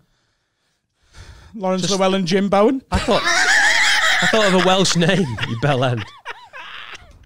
He's just he's just managed to put a, a darts player in there. hasn't Can't believe me bullseye joke went underappreciated. he? no, no, I got it. Marion says, "Have you?" Laurence Llewelyn, Jim Bowen. Now I'm fuming. Marion says, Have you ever hooked up with groupies after a show? Yeah. Obviously, pre Laura and Sam. Yeah. Yeah. Yeah. Carl? Never had a show. No, but you you I've ru- ran shows. Oh, but you did it so well. Like you seated people, like they might be like, you know what? He told me the rules and it gave me a little, bit of a fanny tremor. yeah, Tremor. Yeah. Uh, no, we did have a. You'd have to be pretty sexy to get laid being a fucking show manager. Like comics can get laid. I was the fucking general manager. Thank you, Daniel. Yeah. All right. Yeah. Fucking those stripes. Yeah, I was building manager. Yeah. Not just show. Building manager As in staff, makes you sound like stock, the caretaker. Right. everything. Did everything. All right. Thanks. But no, no one ever tried to get off of me because I'm in a long term relationship. Thanks, Daniel. Mm. No, but that doesn't mean they've not like had a little giving you the. And I little, when I say the rules, I say I've got to go. Please no talking. Turn your phones off. Don't try and suck my dick. You had to. I had to. It was too often. Too I've common. tickled plenty of vagina post show. Can I have a f- Can I have a selfie, Adam? Hmm. Can I have a tickle? We had to have a wear groupie come out with us once, didn't we? Nope. What happened there? Nothing. Don't know what he's on about. You don't want us to tell the story. Oh, in Tell you the August. In August. I remember. I remember. I was with my uncle Colin, who was staying, and my uncle Colin is like he's from a different fucking world than me, and he comes to visit once a year. And I was like, I've got a gig in Liverpool, and I clocked her on the way. She's like, "Hiya, Dan, I love you." And, and my uncle is the most sort of controlled, sound. It's like middle class guy ever, and he, he gave me a look like she's a crazy fucking bitch. like it was quality. I was like, yeah, she mad though. Mm-hmm. She seemed lovely though. No, but like sometimes after a show, you know, you got a bit of a vibe. Uh, and you're like, yeah, oh, whatever. One girl, this was years ago at the Birmingham Glee. And uh, a girl come up to me with her friend afterwards. I went just went to the Birmingham Glee bar to get a drink, and her and her friend were stood there. And uh, she was she was like, made it very clear very quickly that she was single. And then she said something like, um, she said something like, yeah, I was talking to a guy the, the other night, but uh, it didn't go with me. He didn't try hard enough. And I went, how hard have I got to try to get you to come back with me? And she you've just done it on stage. And I was like, okay. I didn't even watch the end of the show. God bless comedy. I got a message from a girl uh, from the Preston Frog who was on a date. I clocked her. She was really attractive. She was on a date and she was smiling and laughing at me. And I never saw her once look at the guy she was on a date with. And I was like, she seems really attractive, like something about her. And uh, I got a message later. She was like, Hi, I've just been on a date and we came to see you at the Frog. And I spent the whole night thinking, why am I not on a date with Dan Nightingale? And I was like, hello, comedy. Thank you, comedy. Let me reply. And we dated each other for uh, six weeks and it didn't work out. That sounds lovely. That sounds like it was really good. There's also times after the show. Just love comedy. It makes it so easy. Like, Like- you, when you're this, you don't get a lot of women going, sorry, I, I know you're just sat here having drinks, but I'm on a date with a guy and I've been looking over at you, bald man, slightly overweight, shit glasses, thinking, why am I not on a date with that guy? Give me a microphone on the crowd and I'm stealing your fucking lady. Mr. Steal Yo Girl over there. Um, the the opposite can be quite true after the show though, where like because of the power balance in mate selection amongst humans, which tends to be, or certainly the, the conception is that all men want to fuck all women, so it's up to women to go, I'll fuck that one. Do you know what I mean? Yeah, it's a generalization. It, Some Yeah. of it holds true, but that's sort of, Yeah, yeah. yeah. But you know what I mean. I'm not saying it's true, but the, Yeah, the- yeah, yeah, the- yeah. there's a the general that. perception, yeah. So, because of that, which I'm not saying is anyone's fault, I think it's just the way society is, and there's many uh, reasons that we won't go into for it. But a lot of women are used to just being like, "I'll fuck you," and having a man go, "Okay." so there's been times after the show where I've sort of gone for a drink at the bar or with another comic and we've stayed in the bar. It may be like a non-purpose-built comedy club. So a purpose-built comedy club, you tend to, stay in the green room, don't you? Yeah, You're just yeah, amongst yeah. yourselves. But maybe if the shows like a Jongleurs, which is in a nightclub, and then you go for a drink in the bar afterwards because you don't want to go back to the hotel or whatever, and you're another comic, and a group of girls sort of come over to talk to you, or even a group of mix, but there's a few single girls. Sometimes a girl has got really upset because she's been like too drunk, and I'm just like, this is just not for me at all. And just being really, really like angry when I've gone, no. Like they've gone to kiss me or something. I've gone, oh no, sorry, no. And they're like, what? You talking to me all night? It's really, really weird. Yeah, because you've you've taken their status away from them. Yeah. they They're don't like, hang on, I'm weighing you up. You should be very appreciative. That's brutal. That's a great power move if you've got it. To be like, nah.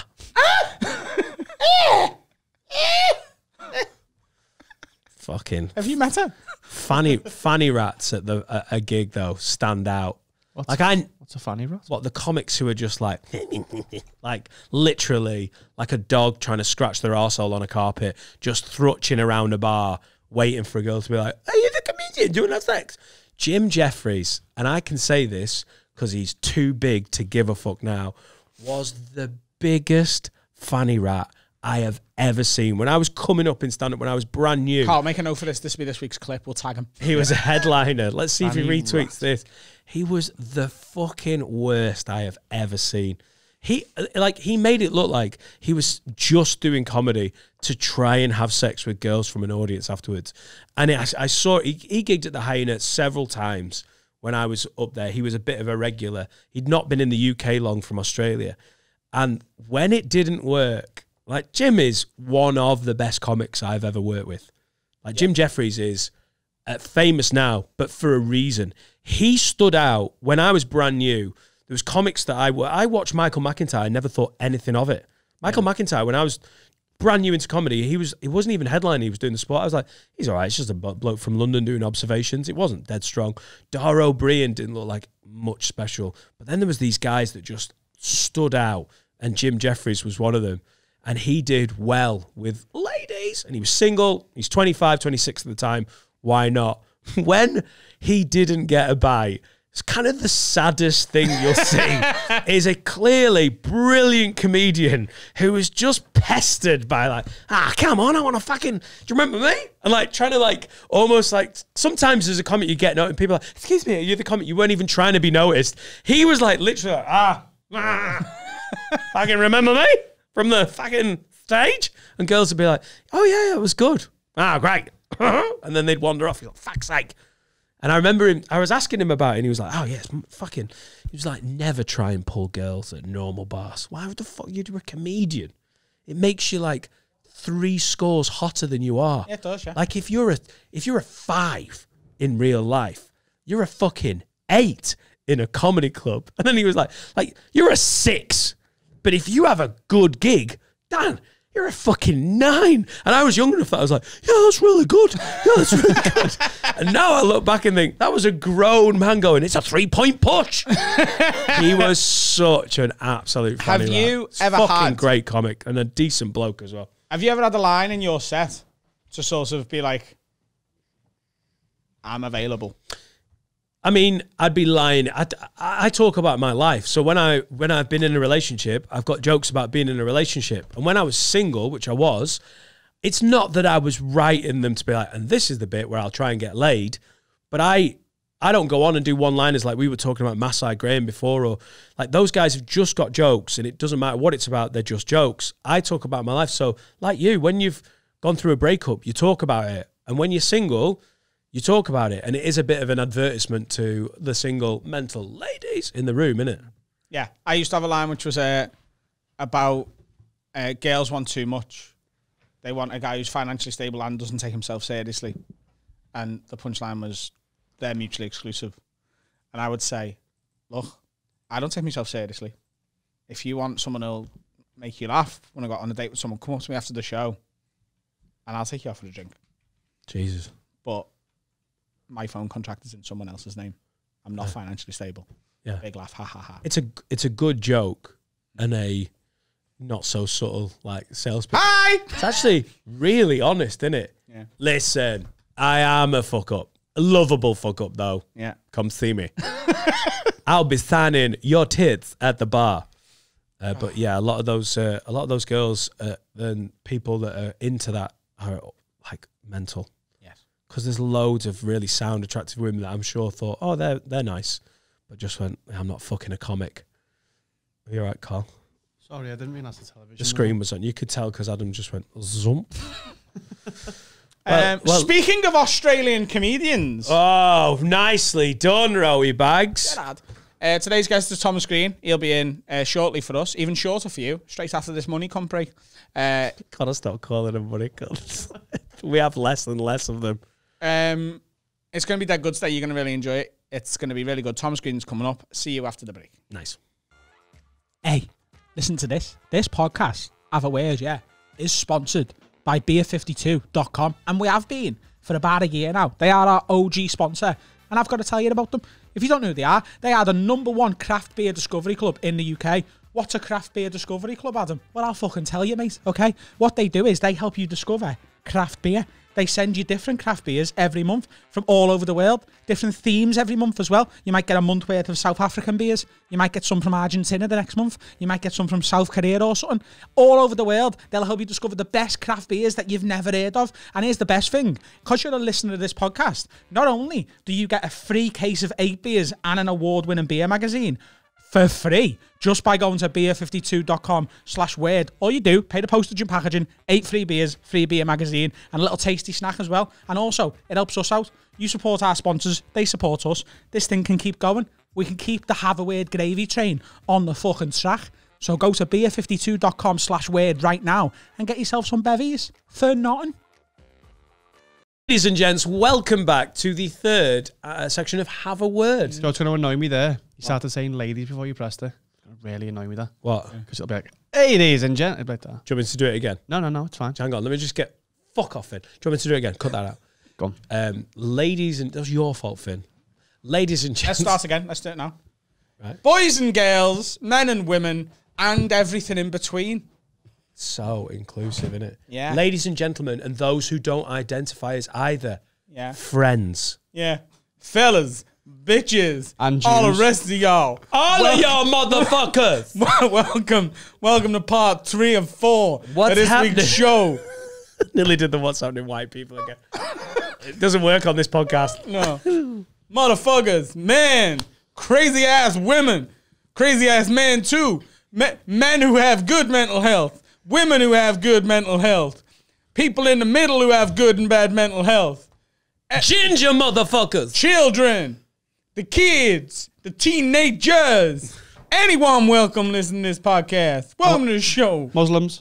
Yep, Muslims too. Well, now I've got to mention every religion. Christians, Jews, Hindus, Hindus, Sikhs. Buddhists, Vegans.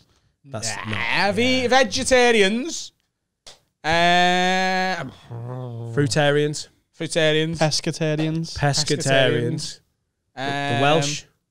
oh. Always the Welsh. non-offending paedophiles. You know, Oh, nice. if you yeah. can't help your feelings, as long as you're not fucking the kids, you're welcome. Yeah.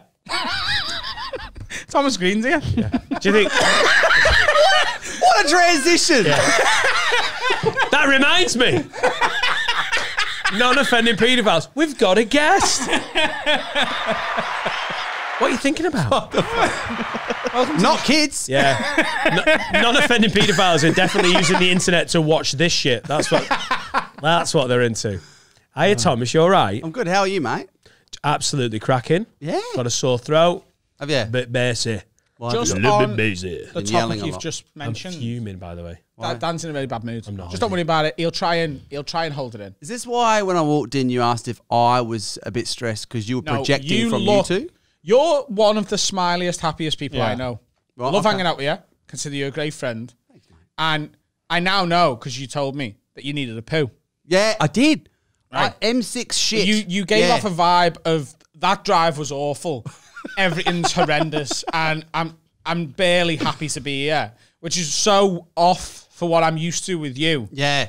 Like you were happier last week when you arrived to do my gig here, when you took nine hours to do a three hour journey.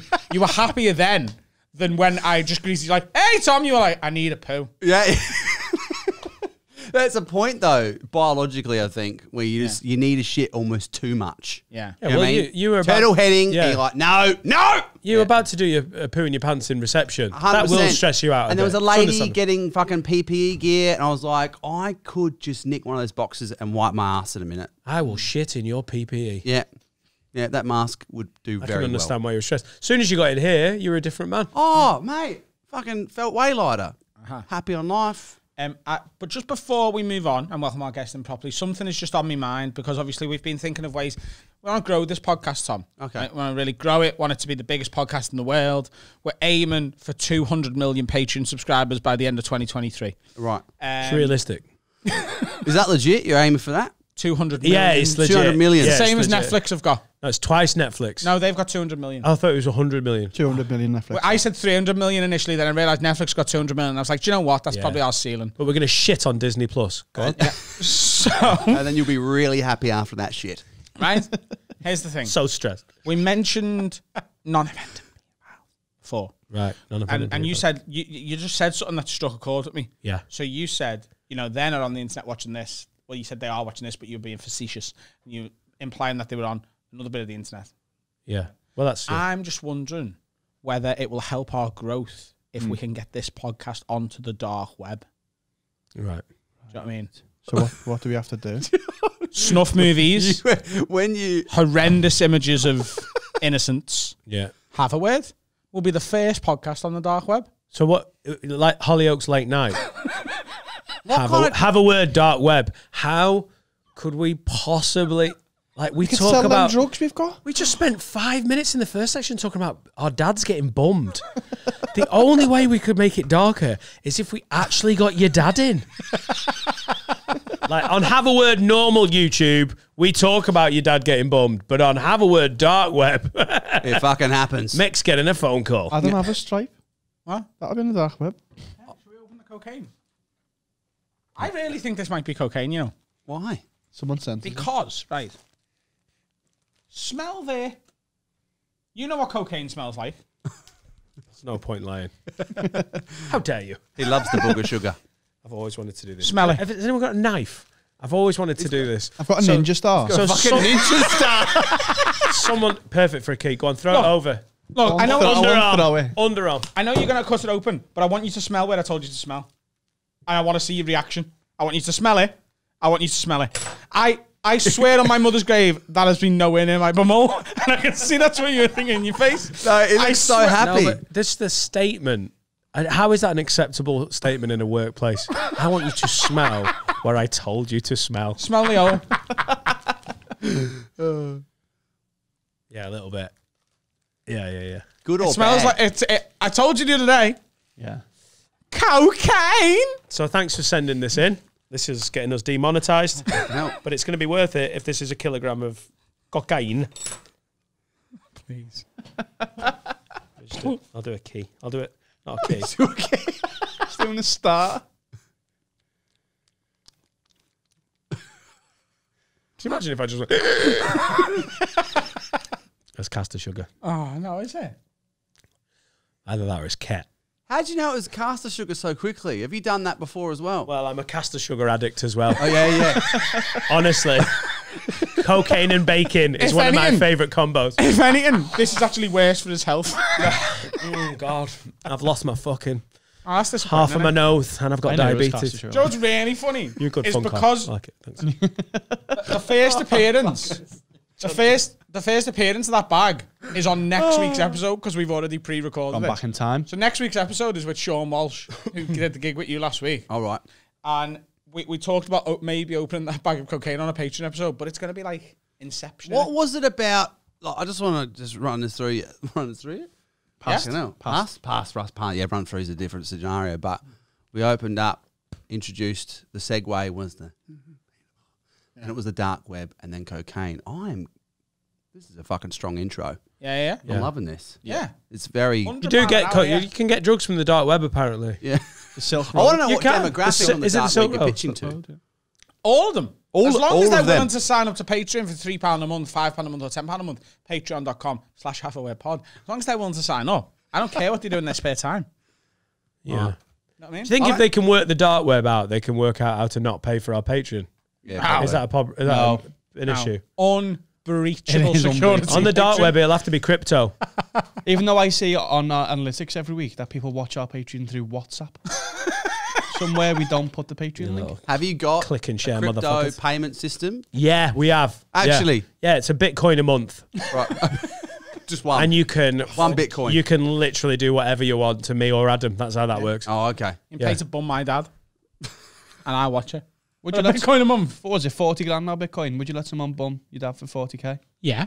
I get all 40k. Does he ever a say in it? yeah. That'll give you two grand. Wow, you are a harsh dad pimp. 38 grand to you. You're keeping thirty-eight grand.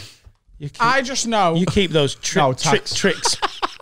I just know that my dad could use two grand, so that's his price. My price is thirty-eight grand to watch me dad get bummed. I just love how serious. It's much harder to watch your dad get bummed than be me dad getting bummed.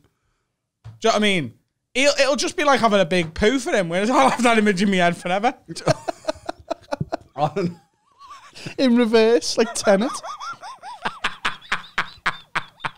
just like, oh, fucking hell. just like Tenet. Everyone watches that film going, she's like making my living off this, Thomas. This silly, silly bullshit. Oh, How's your dad? How's he doing? Does he work for Cash in Hand? uh, he's a nurse. oh, is he? Oh, he's used to it. He's used to it, yeah. yeah, yeah, yeah. Uh, Is he really a nurse? yeah, actual. In Australia? In Australia. Yeah. Where are you from in Australia? Adelaide. Adelaide. Uh, Mickey D's from Adelaide. Yes. Yes. Oh, I love Yes. Mickey D so It's a much. good Spent the first three months fucking this egg. year with him. Oh, I love him so much. He's one of my favourite people. I went, we, we went to the New Zealand Comedy Festival. I went 2008. Yep. Never met him before. We were friends within, I'd say, about 35 seconds. Yeah. He's just one of those guys who's just like, there's just no, he's like, ah, you're fucking great. And we were Bezos for the whole of that tour. Yeah. And his sister, and he told me about Adelaide. Yeah. You know what? It's, You know it's a bit smaller than the bigger cities. 100%. But a really good atmosphere. It's like a overpopulated country town. Right. Yeah. But it's not. It's a city. Yeah. But it's like a country town where everyone fuck. So when you everyone knows each other, everyone fucking knows each other. But when the main question you always get, and you know someone's from Adelaide, is they'll go, "What school did you go to?" That's the Adelaide question. That's how What school did you go to? I went to Cardinal Heenan. Everyone, everyone did. fucking close. I went to Tyndale. It was, that was Why is the that close? Because it's a religious thing. You said cardinal. Right. Yeah, yeah, okay. yeah. This was always going to come up today. It was my intention to bring it up. Oh, was it? It was a religious What my, school. what, my school? It was. Is that the start of what you went into? Nah. Oh, you got to say, indoctrination started when I was a kid. Oh, is that what we're talking about? Religion? Sure. Oh. I Bit of a, you know. I thought we were talking about Mickey D. I was going to say, do you Alright. remember in the SAS on Channel The reason 4? I love Mickey D. the reason I love Mickey D is because he's the only person who has ever voluntarily called me Rowie, and that was the name I tried to sort of. You know, when you want a nickname at school, like my my name on MSN Messenger was Rowie. And no one accepted No, it. everyone was like Adam. In fact, Alan Yeah, became a nickname of mine for we a bit. called him Alan for and Power Ballad Alad. I don't want no more. Yeah, but he is the most Australian person ever. and He's you like gotta get- Rowie. Yeah. I'm like, yes, Mickey, let's be friends. Yeah, he's. You he's don't have to ask.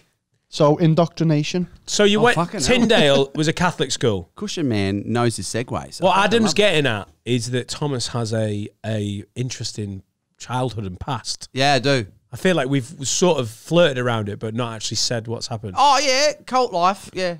Cold Hashtag. life. it's the only life I know. Ah!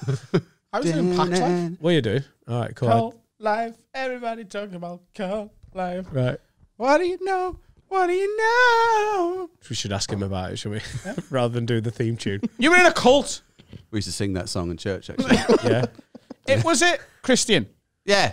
Yeah, a Christian cult. So they would argue that it's not a cult because they don't think it is. It's just a stream of Christianity. It's called Pentecostal.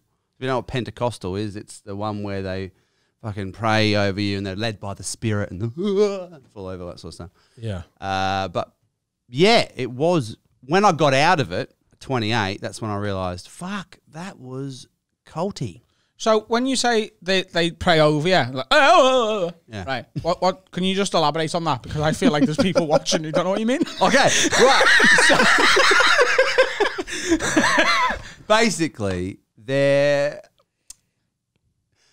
trying to deliver you constantly from demonic holds on your life, right? And they can be coming from any angle, right? uh now, I had people pray over me to try and you know uh, deliver me, or whatever. But they are they would literally pray over people in church. Do you mean over? So you're on the floor and they're over you? You could be lying on the floor. Yeah. You could be kneeling on the floor. You'd be standing. They Yeah. put their hand on your head. Like a real Satan be gone. yeah, yeah, yeah, yeah, yeah. Proper. Mate, if you want to get into it, I've got some fucking crazy shit to tell you. But like, We want to get, into, get it. into it, yeah. Yeah, you, yeah, yeah. you really want So when did you? T- let's get context. Okay, okay, okay. okay. What happened? What like? How you did this born hap- into it? Were your family into it? What What's the story? I grew up in a very Baptist household as a kid. So, age of five, you know, typical thing told in reception that, you know, if you sin, you go to hell. And, right. So, Yeah, typical. I had that. yeah, yeah, yeah, yeah. Catholic school. But, yeah. St. Margaret Not a, Mary's. ha- not a home, though. what? You So, you were home. rela- raised Catholic? Yeah. Yeah, right. Okay. We didn't get a home hell, sin and shit, did you? In Not in school. my house. Yeah, but that's what it means. Household. Oh no no no. Oh, I had no, a at- at 360. school and church, Yeah. and like at home, it wasn't like God doesn't exist. My mum wasn't like atheist. She was an alcoholic. Do you know what I mean? She was just like, Fucking legend. yeah, yeah, yeah. There's a man in this guy, and uh, he, if you're being a cunt when I'm not watching because I'm fucking pissed, yeah. he'll fucking burn you to death. Once you're God, dead. God says, get down to bargain booze for your mum. I've just had a message from God. He says, You think my ma's Derek a corner? there's 20, 20 Super Kings. Did your mum smoke? No. Drink? A little bit. Yeah. Um, not loads. Did you ever b- get sent to the shop for your mum for alcohol as a kid? No. Yeah, I did. She had to go in and just like How old were you? like a child. Like I was like twelve. But How, they knew, they how knew ya. fucking convincing was your ID? No, the fella just knew me ma. So I would just Oh. go in and be like, "Can I I was have?" thinking, fucking No. hell. Adam I looked grew- like this I at grew- seven. He's getting a beard. That's the great thing about having a fucking seven year old with a beard. Go on, love. I just walk in and it, Take the car. It's raining. there's a place was called Kelly's Wines. Right. And I it, remember the that. fella behind there was called Peter. And I'd just go in and go, Peter, me ma sent me down for um, a bottle of vodka or half a bottle of vodka. And he'd be like, it's for your mum. Yeah. And this wasn't in the year 1830. this was late 90s. This was Um, early noughties. Oh my god! For every fucking law imaginable as like a licensed premises. And but one time I tried me luck because I like me, me and my mates were like, "Should we get some bevies?" I'm like, Yeah. And I was like, "I'll just say it's for me ma." And I walked in and I was like, "All right, mate, can I have eight cans of Carl for me ma?" And he went, "No, your mum drinks vodka. Get out." If you'd have just thought it through. So different experience growing up for you, Thomas, by any chance? yeah, no, I didn't get sent down to the fucking botlo to get some bevs. the bottle. Botlo. Oh, we Wait. say the offie. Offie. Off The license. fuck is oh off license? The, offie. the Where you go and get off your fucking head? That's Yeah, what you the do. offie. the bottle I mean, it's Hey, quite the self botlo. Yeah, literally they'll have some branding where it's bottle hyphen o botlo. But yeah, no, I uh yeah, so raised very Baptist, and then went to a very Baptist church the whole life. They're pretty strict anyway, aren't Very, very. mm. So when I hit like my teens, I still didn't want to go to hell. So my idea of rebelling against that constricting environment was to go to a cooler church. so I went to one where there was like the young people up the front, hip music. I was like, this is cool. This fucking be good. And Yeah. The first time I get there, I remember those cunts when we, we went on holiday in North Wales and they made Christianity seem a bit cooler. We're doing a Christian group and Rachel's fit, and you're like, "Oh, maybe I'm a Christian." You're like, "No, she's just dead fit." And they were like, they sang the Christian songs that we didn't sing at our oh. school. They sang shit like "Shine, Jesus, Shine." Oh, oh yeah. Fucking Ramesh. tune. But never Mate, did, did you ever? You, that I- would go We off. Yeah. never sung that at our, our church Yeah, we C of did. E. I felt like there was a way more like cool Yeah. like. We sang boring C of E, dull as fuck. we did Yeah, yeah, Shine, yeah. Jesus, Shine. Gloria. Gloria The in Duke. excelsis Gloria. Deo. And Rolling then down the I way. feel World's like- Greatest by R. Kelly, as Yeah. as now made famous by this podcast. I feel like the C of E stuff would be similar to the Baptist. Quite yeah, it's stricter, quite hymnal. dour. They got the numbers on the fucking hymn charts. You I, know, I was what's in a coming. choir. We did psalms. You were in a choir? Psalms are like I was in a choir. shit hymns. Psalms are just like two Cop notes. is not a choir. We were both in choir. Actually, I, I did one gig at an old people's home. There was eight of us, and then we retired the band. Got out while we were ahead. You know what I mean, I Done played one 40 big and gig. talked to girls. Retired the- What? Did you start the choir? What? You made it sound like you started a choir. Lads, we're starting a choir. Did you just did you just rob an old people's home? Lads, I've got an idea. We can't get eight cans of Carling because Peter's a smart cunt. But I know, shine Jesus, shine. There's seven, there's eight of us. Let's go down the old people's home. Shine, Jesus, shine. Fucking Jacko in the piss. No, we were selected by the school, had O's and. I wasn't like the leader, but you know what I mean. I felt like I was. I bet you were. Well, you thought you were or you were? I felt like there was a, just a, an unspoken agreement. Did you stand at the front and was there fucking flying V behind you? What was Yeah, essentially. Are you a tenor? What? Baritone? What kind of voice are you? Yeah. He was getting served at five. He doesn't so know. probably he thinking- doesn't fucking know what voice he is. You got him, Carl. It's in a kids' choir. We weren't taking it that seriously. Probably tenors then. Quite high. I had a solo bit. they've- the balls haven't dropped. How can Yeah. you? Oh, quite high, isn't it, tenor? No, Is it not? no, it's like the it's the high man. Oh, Sopranos that. If you're a six year old oh, shit. bass, the doctor Baritone. really fucked up your circumcision. I, hang on, I take it back. He had a beard at eight, didn't he? I had a saxophone solo without a saxophone. Jesus, I shine. just did it with my mouth. There's so much bullshit. Where is it? I'm not messing. do it now. We do like Gloria in Excelsis Deo, and then I just go. kind of bullshit Catholic school did you go to? What saxophone you listen to? and then we'd come in for the final bit. I'd take like 20 seconds before I joined back in with the choir, just to give me voice a little bit of rest before I went back in. If into it. anyone else went to a Catholic school and they don't recognise this, the priest like, now we need a uh, fake sopra- fake saxophone solo. What happened one, one day I just did it, and they went, do that on game night, and I was like, On all right. game night. Yeah, yeah, yeah. That's what, it on game night? yeah, that's what they call robbing Fuck, old was there a though. competition? yeah. who'd you who'd you compete? Bird calls. Loads of owls come to the fucking Who did percussion? Your fat mate slapping his tits together. Like, Fucking how big were his tits? no. All true. so, Oh my god. Yeah. Mm. Fucking hell. I was never in a choir. so, so you went on your own to a different church. Yeah, yeah. At so, 13, you were like, I'm break. What, what were your parents like about it, that? was, it wasn't like I went in and didn't know anyone. It was people from school who Yeah, knew yeah, we went yeah. there and stuff, and they were the cool kids, and it was all The cool Christian kids. Yeah, the, like you're talking about, fucking Rachel's fit, that that, Yeah, that yeah, kind yeah, of yeah, mob you're talking about. And so you go in there, and I'm like, oh, fuck, people dress pretty chilled here, like it's a bit low, low key. That's how they lure you in, right? Like What it's a all, way to rebel that is, though. I know. I'm going to do heroin. Well, I'm going to the other church. heroin. Where sermons are longer. Thomas, they wear denim. you fucking lost it. Traitors on a Sunday, Thomas. You animal. Love it. Ah. Oh, what couldn't, hell. what couldn't you do then as a teenager? Can you What not, you like, mean? Can you not, like talk together? Fucking, you couldn't do it. You couldn't even wank. Yeah, you couldn't do anything. But did you though? well, I'm not meant to Wank. wank, though, am I? Fuck yeah. Yeah, yeah. Mate, I, I, you, this is how bad it was, right? This is how much the guilt was on me as a teenager. Genuinely, at the age of sixteen, I felt so guilty about wanking that I used to tell my mum every time I did it.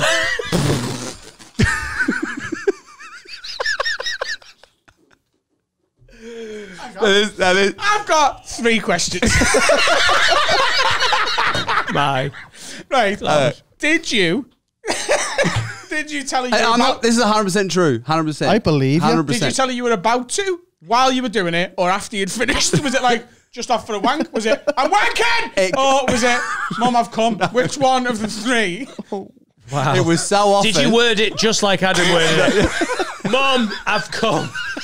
He felt so guilty that he was masturbating as a young Christian, but he still worded it, Mom, I've just. I feel really bad. Fucking blind my load, mum.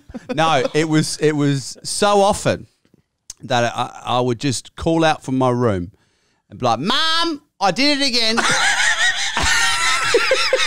and she knew what I meant. She knew. she fucking knew. That's insane. How did she react? Uh, she she used to get frustrated because uh, it would happen all the time. And I remember one time she And she because she back. wasn't doing it. she literally called back to me and was like, "Oh, top sweetheart, you don't have to tell me every single time." yeah, every other. Yeah, Like a normal person. Intervals. yeah, fucking crazy. right. So, where does- you go to the cool church. Yep, You're in with the cool kids. yeah. Are you thinking about how often you would have had to tell your mum? Well, yeah. I just think I just think it's so hilarious that you felt so guilty, but you couldn't stop. I think that's so funny. Like Because it's biological. I know, because 16 year olds, it doesn't matter how much you're scared of God or having to tell your mum. Yeah. You still can get hard. Even though, you know, in about 10 minutes, I'm going to have to tell my mum I've cracked one out. But at the time, you're like, there's not enough of you to be like, that's awful. I might not do it. You're like 16, post, I've got post to do it. guilt, innit? Because you can't. This is the thing, right? The whole thing about religion and that guilt and making you feel bad for fucking feeling normal shit. Yeah. You felt guilt about sex. You felt guilt about everything. And it's just like, why? That's fucking normal part of life. you wouldn't be here if it wasn't for sex. Yeah, Tom. fucking life. Fucking yeah, Yeah. yeah. But yeah, oh man, unreal. That so you felt guilty about that. Uh, you felt guilty about fucking yeah. You, you couldn't you couldn't bang. You couldn't drink. Couldn't smoke. Couldn't hang around with kids that weren't from the church. How were they with that? It was very interesting because my sort of experience being able to hang out with fucking normal people was through sport. So, you know, the footy club, that sort of thing. You'd meet normal kids who Yeah. were like, oh, get fucked. You know, like, oh, you just said a naughty. Um, yeah. And they'd be talking about banging their missus, you know, when they were in high school. Yeah. What is that like? You know, yeah. Was, Do you tell your mum? Mom, I did it again. Did you put a fucking franger on your dick? Don't- no, franger is a condom. I just realised it probably isn't. Yeah. But we're learning words today. Botlo, franger. Yeah. I feel like people got Franger from context because did you put a Franger on your dick? That's condom, by the way. Not Is a it hat. franger instead of coat hanger? Like, I don't know. What was that too fucking? Tom, Yeah. just for the rest of the episode, at no point do you ever have to check what you've just said. Yeah. Yeah.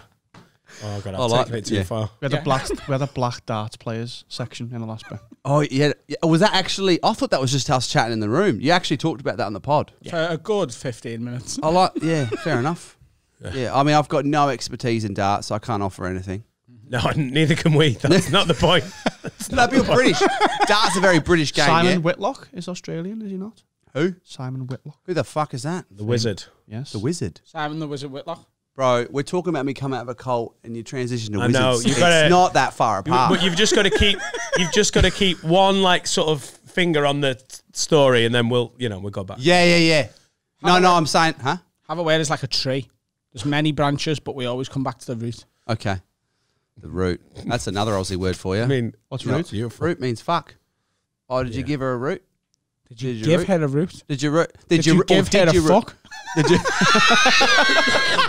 Did you give No, her a but fuck? No, don't talk to me about how you use the word fuck because you guys say this confused the fuck out of me when I first got here. When people say, "Oh, did I fuck?" I was like, "I don't know. You tell me. Did you? I don't know. did I fuck?" And I'm like, "What? Fuck's a place as well. Fuck's the place. Get to fuck. Get to fuck. Yeah. Yeah. That sounds like a good thing. That means I, I, want don't you to believe get to fuck, mate. Oh, okay, thanks, man. That means I don't believe you.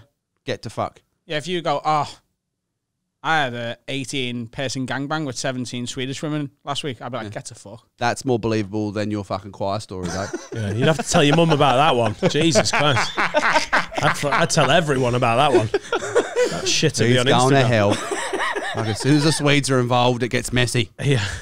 I would think God liked me if I had a 17, 17 strong Swedish lady gangbang. I think God might might a be like, mouthful, "Mm, ha, ha, ha, ha. when I finish with these girls, I'm getting a Euro Millions ticket because I'm feeling pretty lucky. I might become quite religious. Oh, there is that promise though in religion, isn't there, of something good. That's why that's why people get involved. Isn't it? They they hook you in by you know you fucking Why can't you have the good thing now though? what? Yeah. Have the good thing now.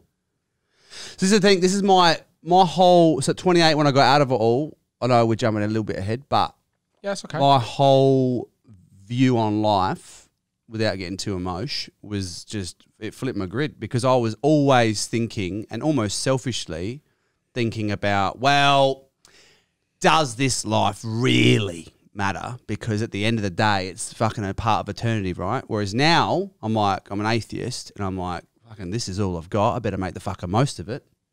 Yeah. Did you genuinely believe through all of that time, like, I've got to be good, I'm being watched, I'm being judged, and I want to get into heaven. So Yeah, I that I, will be amazing. It'll be all of my dreams come true forever and ever. looking back on it, I, there was definitely points when because I had I got severe anxiety as a kid in teenage years and stuff, and into my early adulthood, I had really bad anxiety as a result of all of that. A little bit of Yeah, pressure. just, just a li- just a little bit. And uh, I think there was because I, I thought about it, and because I wrote my show for Australia this year, which is about this story, I got to do a bit of reflection. I also had you know I've had some counselling and stuff, you know, post cult, and uh, I think genuinely there were points, and I, I could lock down some points where I actually would question stuff, even as a sixteen year old. Ah, what the fuck? Why is that cunt rolling on the floor over there? I don't understand. Like, and they're like, oh no, he's just been hit by the spirit.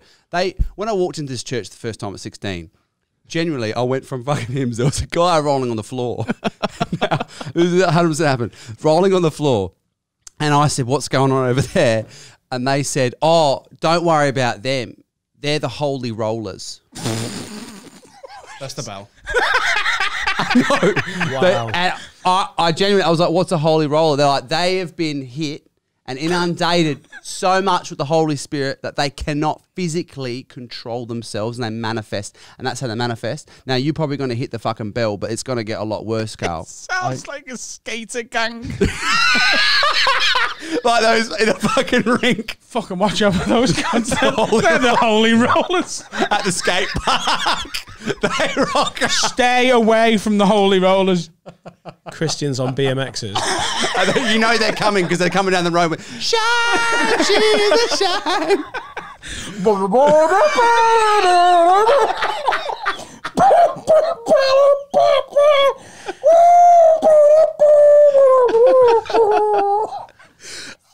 All the saxophone players going, oh. spot on. It's just like the instrument I've spent years. Oh god. I'm so close to laughing out an actual poo.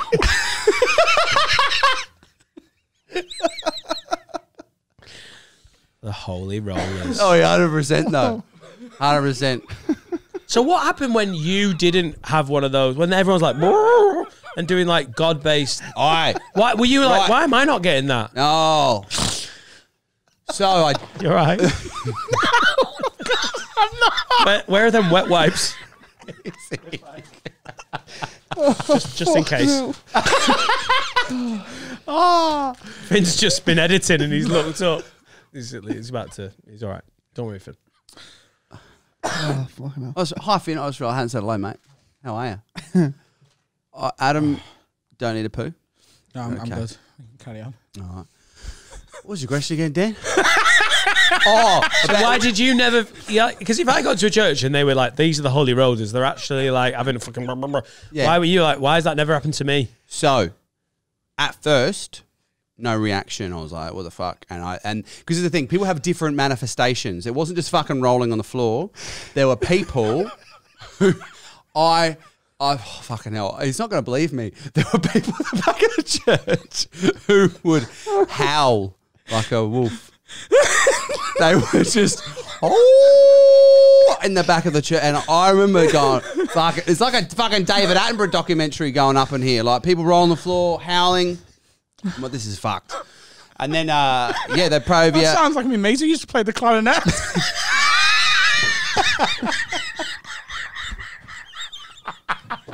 He's crying.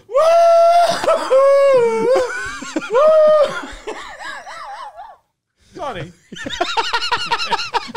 Sorry. yeah. Oh, yeah. Fucking hell. So there's people who howl like oh, a wolf. I, I just love how you're loving the the musical side, but I could just see Dan's like, I want to fucking know what happened. I'm dying to find He's out. fucking like, he wasn't. So, yeah. He, I love it when he's in a really silly mood. He's like, "Woo!" Like I'm trying to do an interview and he's trying to do an impression of every instrument, the worst impression ever. Sounded like a baboon in I- mating season. I am so so keen for his oboe. I want an oboe. oh my god! But uh, yeah, no, I um, yeah. So at first I didn't have any like reaction and stuff, and I was like, "What's going on here?" And then I remember that that He's gone. His car's gone, you know. I'm sweating like a bastard as well. Oh. oh, go on, go on, I'll listen. It's him doing the fucking saxophone. it set you off.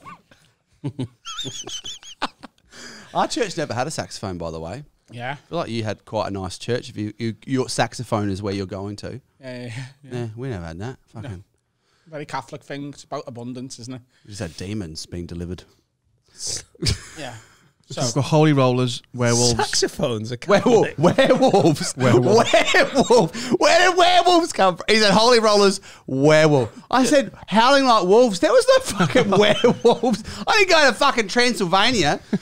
I mean, it may as well have because May as nothing well there have. was fucking real. But anyway, so uh, they had uh, they had uh, they prayed over me a few times, and then the one thing because they used to have the whole thing was about uh, prophecy and, and, prophetically speaking over you and telling things about your life, and I this is the thing they get you by you thinking right your whole life you've been involved in this. And when you go to this new church and all these people they're sound people. They look up this is the thing they're not bad people. They're all fucking indoctrinated as well. There are bad people when they're leading it and taking advantage of these innocent people. But I remember one day they were praying over me and he knew about my nighttime anxiety. Now, that was what made me go, fuck, maybe there's a bit of fucking reality to this. Because he fucking knew about something Yeah. that's just only I fucking knew. Mm. And my ex, like, you know, my fucking I d- didn't think that there was a possibility that she could have told someone, that I could have told someone. It just felt like very or personal. that a lot of young men in the cult get nighttime anxiety. right?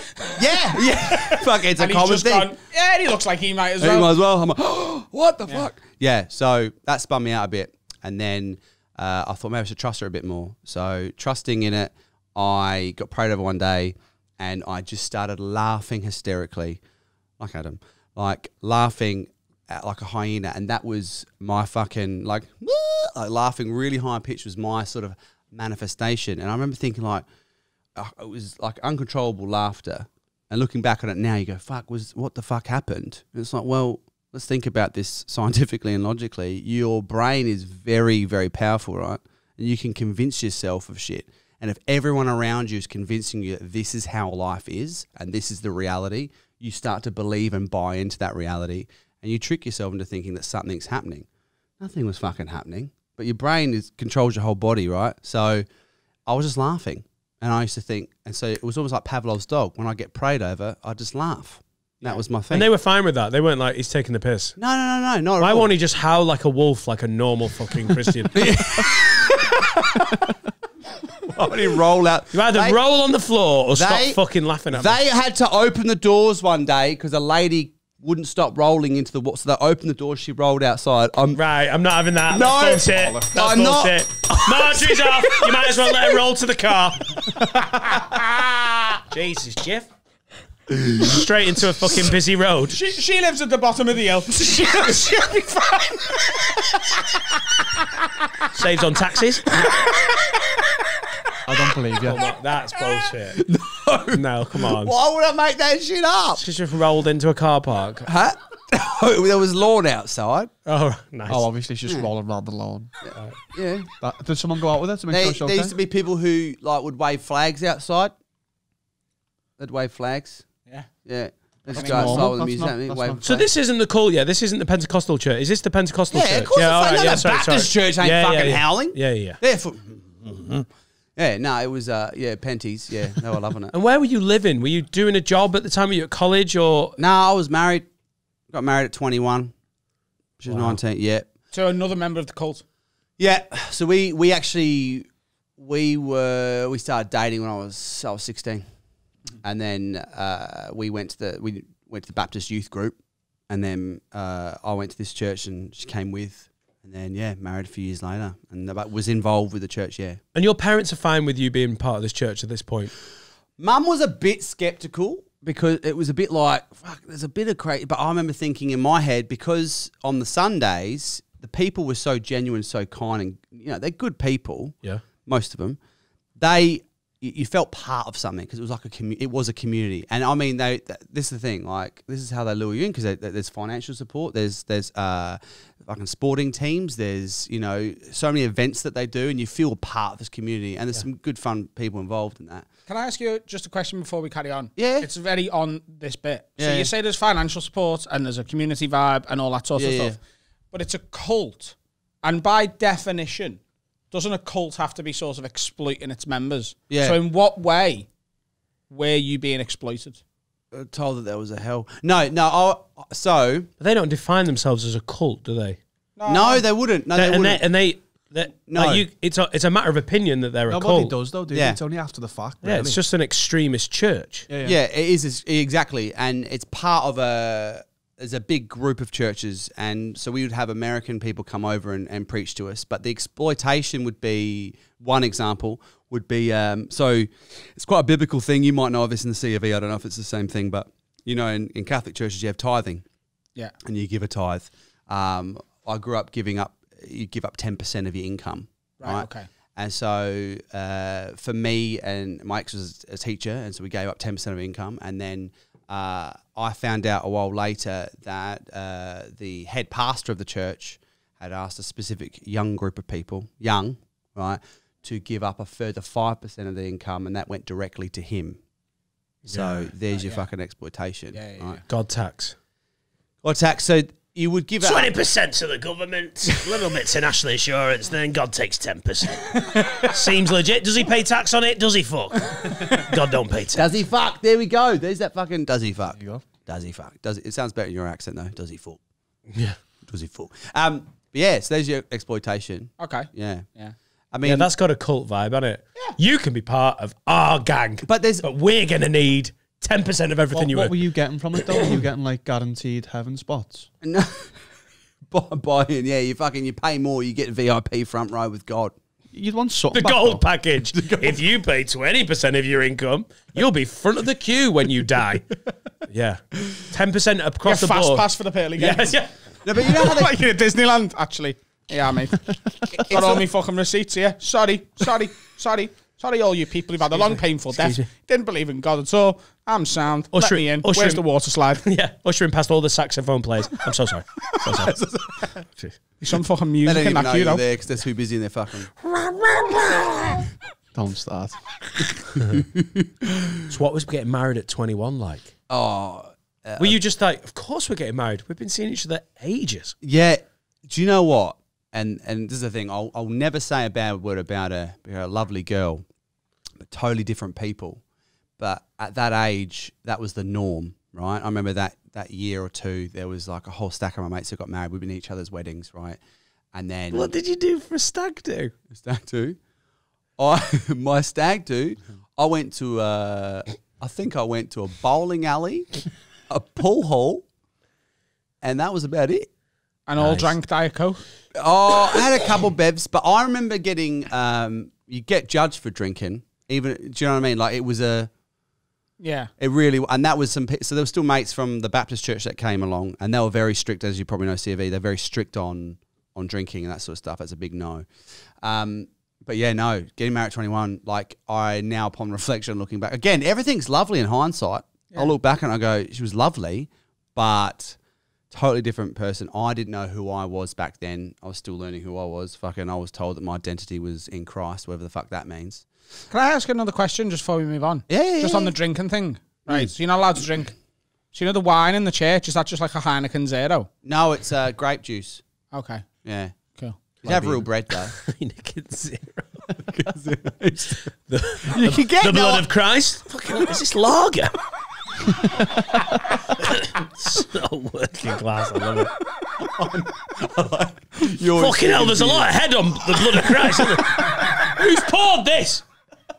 Adam didn't know any wine then. He went straight to lager. Well, I didn't think I can't think of a branded Non- alcohol free wine. Grape juice is a great example. Vimto. Yeah. Vimto's very alcoholic. Is it? It is. So Australians know about wine. What you calling bullshit on? Just, just Oh, nonsense. well, okay. I was, I was that a si- that was like a teacher bell. Yeah, yeah. I just it needs bullshit doing. It needs doing. This is the bullshit bell. Dan presses this when I'm talking shit. Yeah. Or when he uh. thinks I'm talking shit. And my favourite thing is getting him to press it when I'm actually telling the truth. Yeah. Thomas, I have a sore finger. Yeah, no, I, I think as well, like people get confused about, you know, how you can identify it as a cult. You were saying it before, like Uh-huh. how, how was it a cult? But the reality is, is how much they influence and, and are embedded in all your facets of your life. So that you asked about what was like being married at 21. Fucking a lot of pressure, bro.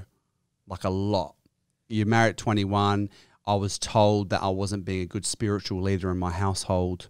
Like, cause, Why not? Because I wasn't, uh, I wasn't attending this is when I start. So I started doubting some stuff and calling things out.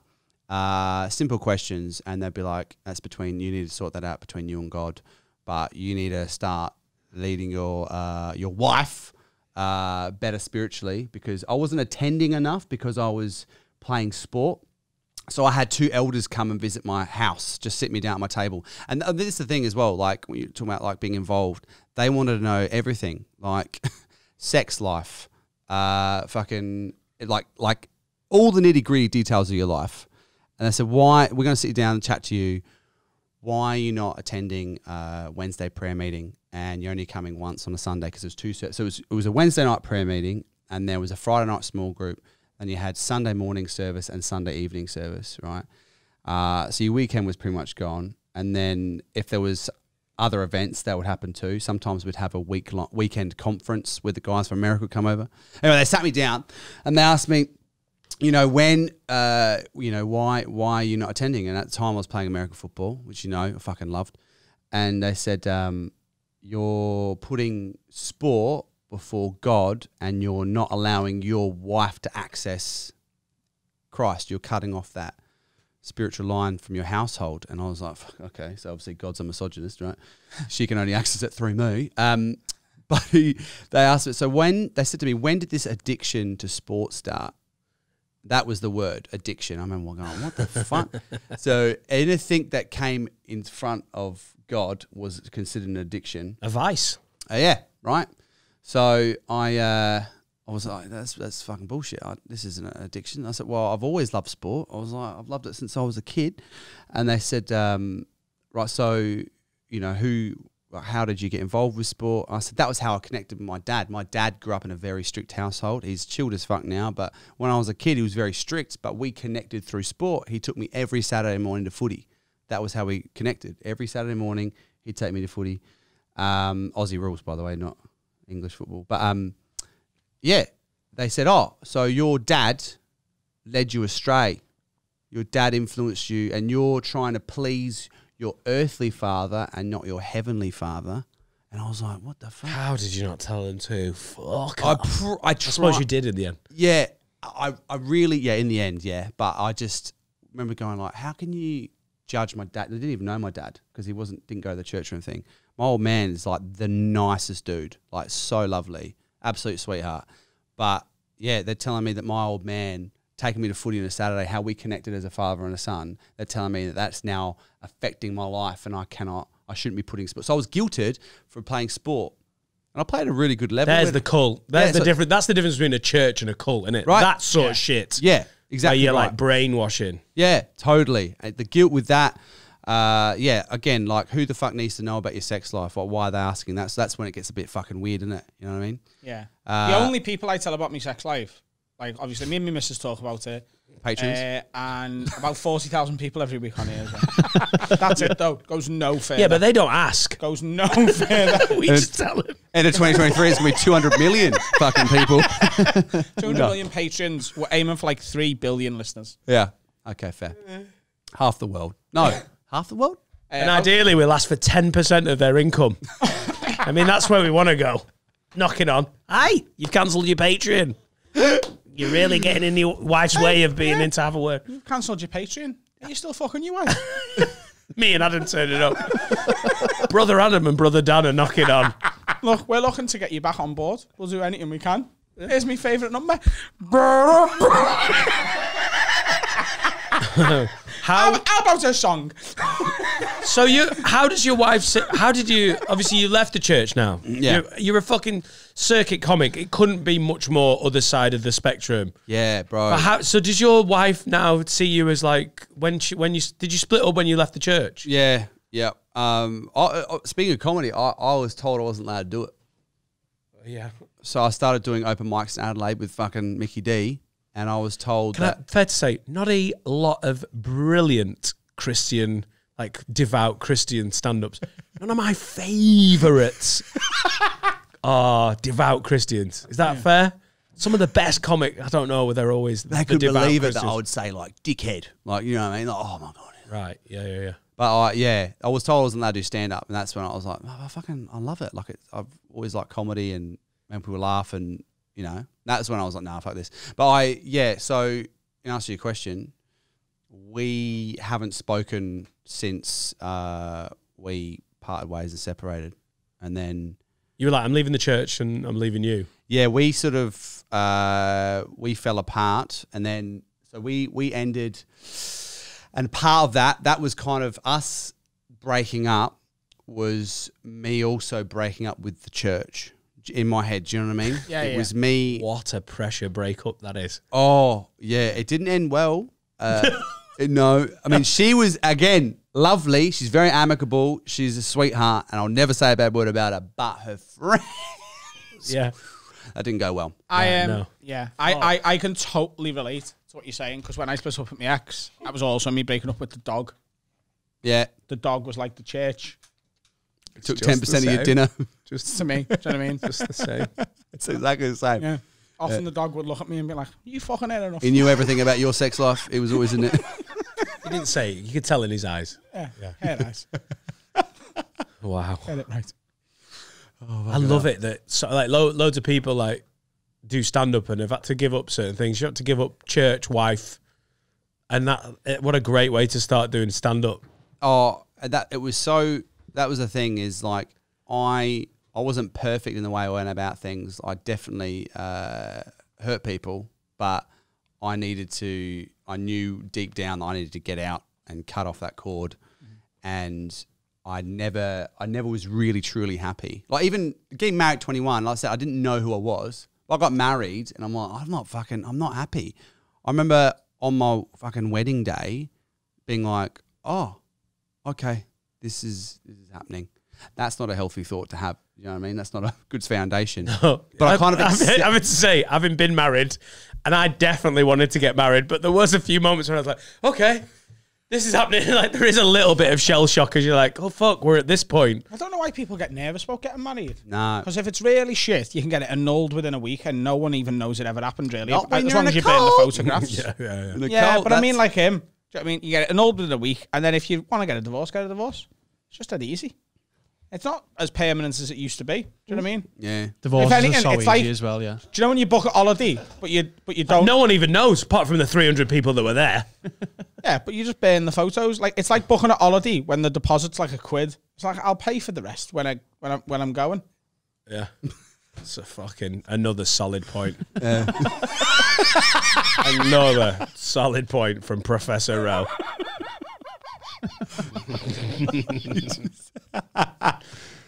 Oh fucking hell. Are you doing a show about this? This is what you're showing. You go. You said you're going to Australia. You're going to do Adelaide, Melbourne. You're going to do the festivals. Yeah, and this so is I what the did- show's going to be about. I did. So I called it cultivated. Bit of a pun there with refining and educating It's a yourself. solid title, mate. And uh, thanks, mate. And then yes, I did that in Perth and Adelaide this year. Uh, literally went up with a notebook and just started fucking telling my story. I had someone call out fucking like doing a bell, but after the show, but like, no, no, no, I don't believe that, man. But so many people went, oh my god, like especially because Adelaide's a city of churches. And Adelaide had people come to my show who were from the church. That was interesting. How did that go? So first night in Adelaide, after doing it in Perth and getting it to a point where I was like, right, I've run it in for a month now, brand new hour. All right, here we go, game on. It's where it all fucking began. And I was bricking it to say the least. Do you know what I mean? Like rocking up. And then first night, second row, two lads from the church who I knew and were really close with back in the day. And I was like, oh fucking hell. And they sat there. And about halfway through the show, I sort of, you know, one of them was absolutely pissing himself, and I was like, oh, "This is all right." Like, you know, I felt relaxed. The first ten minutes, I was like, "Oh fuck, fuck, fuck," relaxed into it. I was like, "This is my fucking story," because actually, it was Sloss who told me to tell the story. Of course, you, Yeah. gotta- you can't have that story and Yeah. never make. He was comedy. Yeah, you're a what- white straight bloke with the most interesting story ever. You're the only white straight bloke in comedy that's actually got a story that's like, fucking hell, that's interesting. Yeah, yeah. It was like you're an idiot, but fucking tell it. So yeah. Anyway, second night, uh, first night, uh, two guys, second row. After the show, they came up to me and I was like, "How did you find it? It's good to see you." And they were like, "Mate, fucking loved it. We don't go to the church either. Do you want to go get some beers?" And we just went out for some beers, and it was fucking awesome. All right. Yeah, so fucked it that's up as well. So they fucked it off. Yep. Yep. Is there You anybody know- who stays in? Hey. Is there anybody who like stays? Lifers. Yeah, yeah, totally. So there's people, and this is what the sad bit is that they still think it is like that is the be all and end all. Do you know what I mean? I I know that my ex has left that particular church. I don't. I know she's gone to different. She's still friends with my sister and stuff, uh, and she's doing well. But she's gone on to a different church. I don't know what kind of church or whatever. But I know she's left that one, which makes me happy because I'm like that church was a bit fucked. Um, you know, I mean, I haven't even told you the real gnarly shit. I want to see if I can spin his grid a bit. Do it. Go for it. Please do. Right. We had a guy come over from America. We had quite a few, but um, I'll, I'll ease you in, Carl. All right. This this guy came over from the States. He was a proper, proper Tennessee kind of guy. He was going to tell us how the Lord is going to come to Adelaide.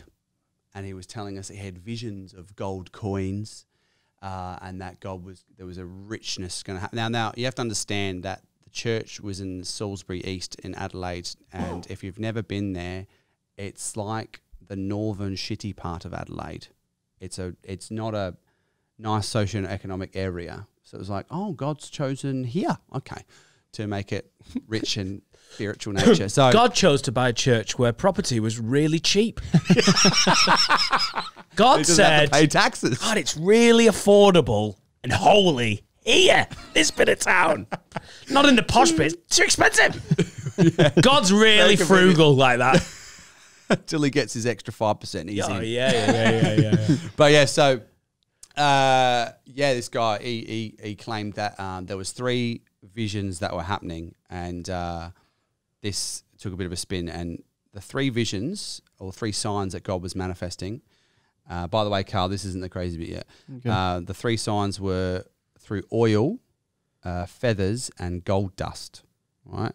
So God was going to show that He was manifesting His presence through those three things. So people would be uh, anointed in oil; they were dripping with oil. This is what he claimed he was seeing in America. And it's always I stuff mean, like fry, like like vegetable oil. Frylight. like I like is it so in the Old Testament, the Bible, they would anoint someone by putting oil on their head, and that was God anointing them. Yeah, but when you say oil, Yeah. do you mean like the stuff you'd cook chips with? Oh, I don't know. I never fucking. What do you mean? As in, was that poured on? No one was pouring it on. They were claiming it was just coming out of their head. Oh, right. Yeah, Well, that, that, okay. that it God, it would be a supernatural. Imagine going up and going, Ksh, fry light on someone. Fucking God, that. It's got a greasy forehead. It's got fry light all over it. He's, sw- he's just, Mate, if you're sweating oil, a bit of canola. you, you are going to see God really soon, aren't you? Stop eating chips, you fat fuck. Sweating oil. Good God. Fuck. Fry light. Oh. I can't tell you how much I'm Feathers. enjoying Oil, feathers, and what? Dust. gold dust. Gold dust. So the two that I knew straight away were total bullshit was the the gold dust and the oil because I remember someone claiming that they was anointed in oil, but I'm like, we're in Australia. It's 40 degrees outside. It's the middle of summer, and our church is essentially a shed. You're sweating, bro, right? And then the other one was the uh, the gold dust, and I remember someone freaking out that they were their, their hands were shiny, but they they had it was fucking like foundation. You know how it gets sparkly. Yeah. Right. So the third one was the feathers, and I remember I was asked to be on the welcoming team at the front of the church, and I was stood there, and this lady was walking up. the lady was walking up, and I saw this feather fall and land on her shoulder, and everyone like freaked out, like, "Oh my god!" That eight, ten people in the foyer came over and were like, "Oh my god, you, you've got a." They didn't say, "Oh my god," but they had, "Oh, you've got feather on your shoulder. Uh, God's upon you." And I remember thinking, like, I literally saw the pigeon fly over and that feather land on your shoulder. You know what I mean? I was like, nah. And then he he, he Oh, pro- but just a word in defence oh fuck of I think God. I'd believe that. What The feather. Yeah, like if it, if this fella's gone, hear me out a sec, right?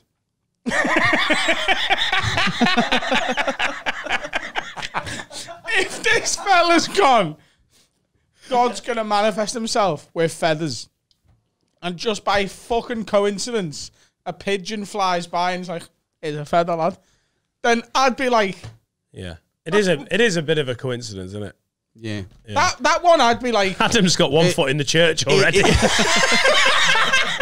oh mate they're, look, they're looking for a sax player He's gonna gonna I'd bid off ya. CKP, get a new agent. You can have ten percent. I'd like to play a lot of churches.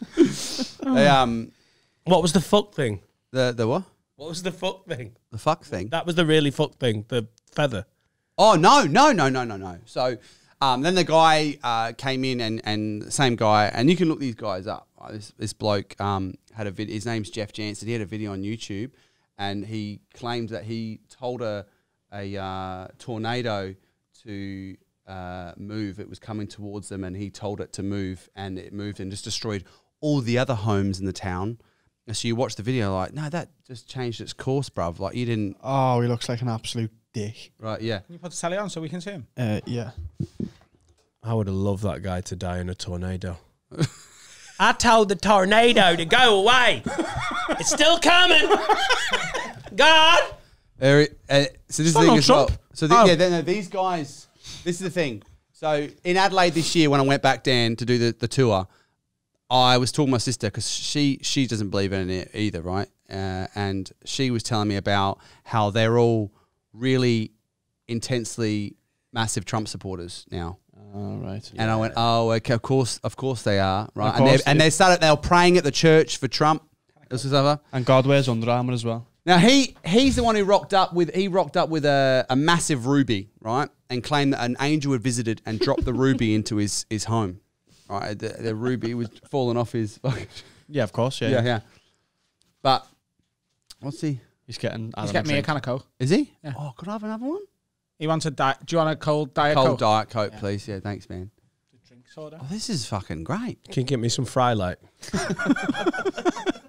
I'll have some chips. While we're all up. Such a mad fucking story. I have that? So, Jeff Jansen. so Jeff Jansen, thanks, man. Thanks, bro. Um, he Check uh, the focus, Carl. he He's just So he uh he dropped this j- j- the Jewel around the church show us that you know, and that's the thing. You saw something real with substance, so it's, it's starting to try and spin your grid a bit. Like this is fun, and so you try and believe the story. And this thing with religion is if you think about the Bible and all the batshit crazy stories that happen in there, right? Um, and that's the religion that you were born into, and you're told this is the, like you know, Aaron or whoever the fuck it was in the book uh, when he saw a burning bush that spoke to him. You'd be like, "Cunt, that's DMT," but back then it was like their lives were so fucking unscientific and unknowledgeable. And if you heard a crazy story back then you want to believe it because your life mystery was and voodoo. Yeah, right yeah, yeah, yeah, yeah. so then how long that's evolved over how many years uh, people still believe them to be true.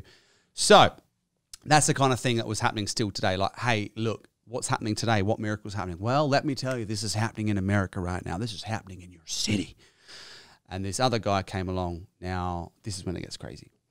Uh, you can look this guy up. His name is Jason Westerfield. Right? So, I didn't mean to fucking point and tell you to do that. look this guy. Look this shit up. for? Uh, now, Right. yeah, that guy there. Looks yeah. like a cunt as well. fucking Christ. Got a long Uh, this head guy, He's not doing weekends, is he? you know, he's got he's got Wednesday night new material night written all over it. That cunt definitely doesn't do his time. do you know what's so good is I just, I just love hearing Dan tear this whole thing down. it's so cathartic for me because this was my reality, bro. So, right, he came to the church, right, and he used to. So you, okay, again, the exploitation. You would have to buy a ticket to go to church that weekend to see him preach, and he would do a, sat- a Friday, Saturday, Sunday, uh, each night, and uh, sometimes he'd have a matinee performance, almost sort of thing. And after you'd Like booked the your old ticket, Jongleurs, that, innit? One on a Friday, one on a Saturday. so it costs like him in, late show. 130 bucks. So like what, 70 quid for the weekend, and you go for the weekend and you'd uh, hear him preach. Um, and at the end, they would have generous giving, not tithing, generous giving. So you'd put my money in. This guy was doing a fucking paid Edinburgh show and a bucket. Yeah. He was rolling in it, right? Now he came along and he told us um, uh, he would, and so he would talk at a really, really fast rate, like uh, talk really quickly, and he'd tell these, and he would talk for three, four hours, and that's no exaggeration, right? But he would talk so fast, so rapidly, people would think that he was so anointed in spirit because he's operating at such a fucking high level. I don't know what drug he was on, but everyone was like, "Holy shit! Like this is unreal, right?" That they would just eat up all the shit he was spewing out, right? Um, and I mean, he was talking about how his child uh, was a stillborn, and he went and placed, he took it out of the room and laid it on his bed, and he laid on top of the child and put his head on his child's head, and the child came back to life. Wow! Right? That's one story. The crazy one. this is Mate, you'd love Freddie Quinn to be in there going, never happened, mate. What the fuck? How did everyone in the room after that long be like, wow, I bet that was good? I, and this is the thing, I'd question it and I'd feel guilt, right? Because it was like, well, I'm meant to be spiritually leading my wife in the house. I'm questioning stuff. What's wrong? It wasn't. You didn't accept your questioning as as as logic and being reasonable. You you thought guiltily of it that you were fucking up and that you there was something wrong with you because everyone else is sound. You're What's brainwashed, wrong- man. You're yeah, brainwashed, yeah. so the one uh, thing that he told us and this is my favourite thing that I was told, and this went in my show in in Australia was uh, he rocked up at this conference and he was telling us that he woke up one night and he woke up. Now you got to understand, in the church there was about three four hundred people watching because it was packed out. And he said that he woke up one night in his own ejaculate, and he woke up Just and at the end of his bed was a demon. And this demon came up and stole his seed and ran through a portal into a different realm. And he had to get out of bed and chase the demon down to get his seed back so that his seed wasn't being used elsewhere in the universe. That'd be my first reaction as Yeah, well. I'd close Yeah. with that. If I seen it,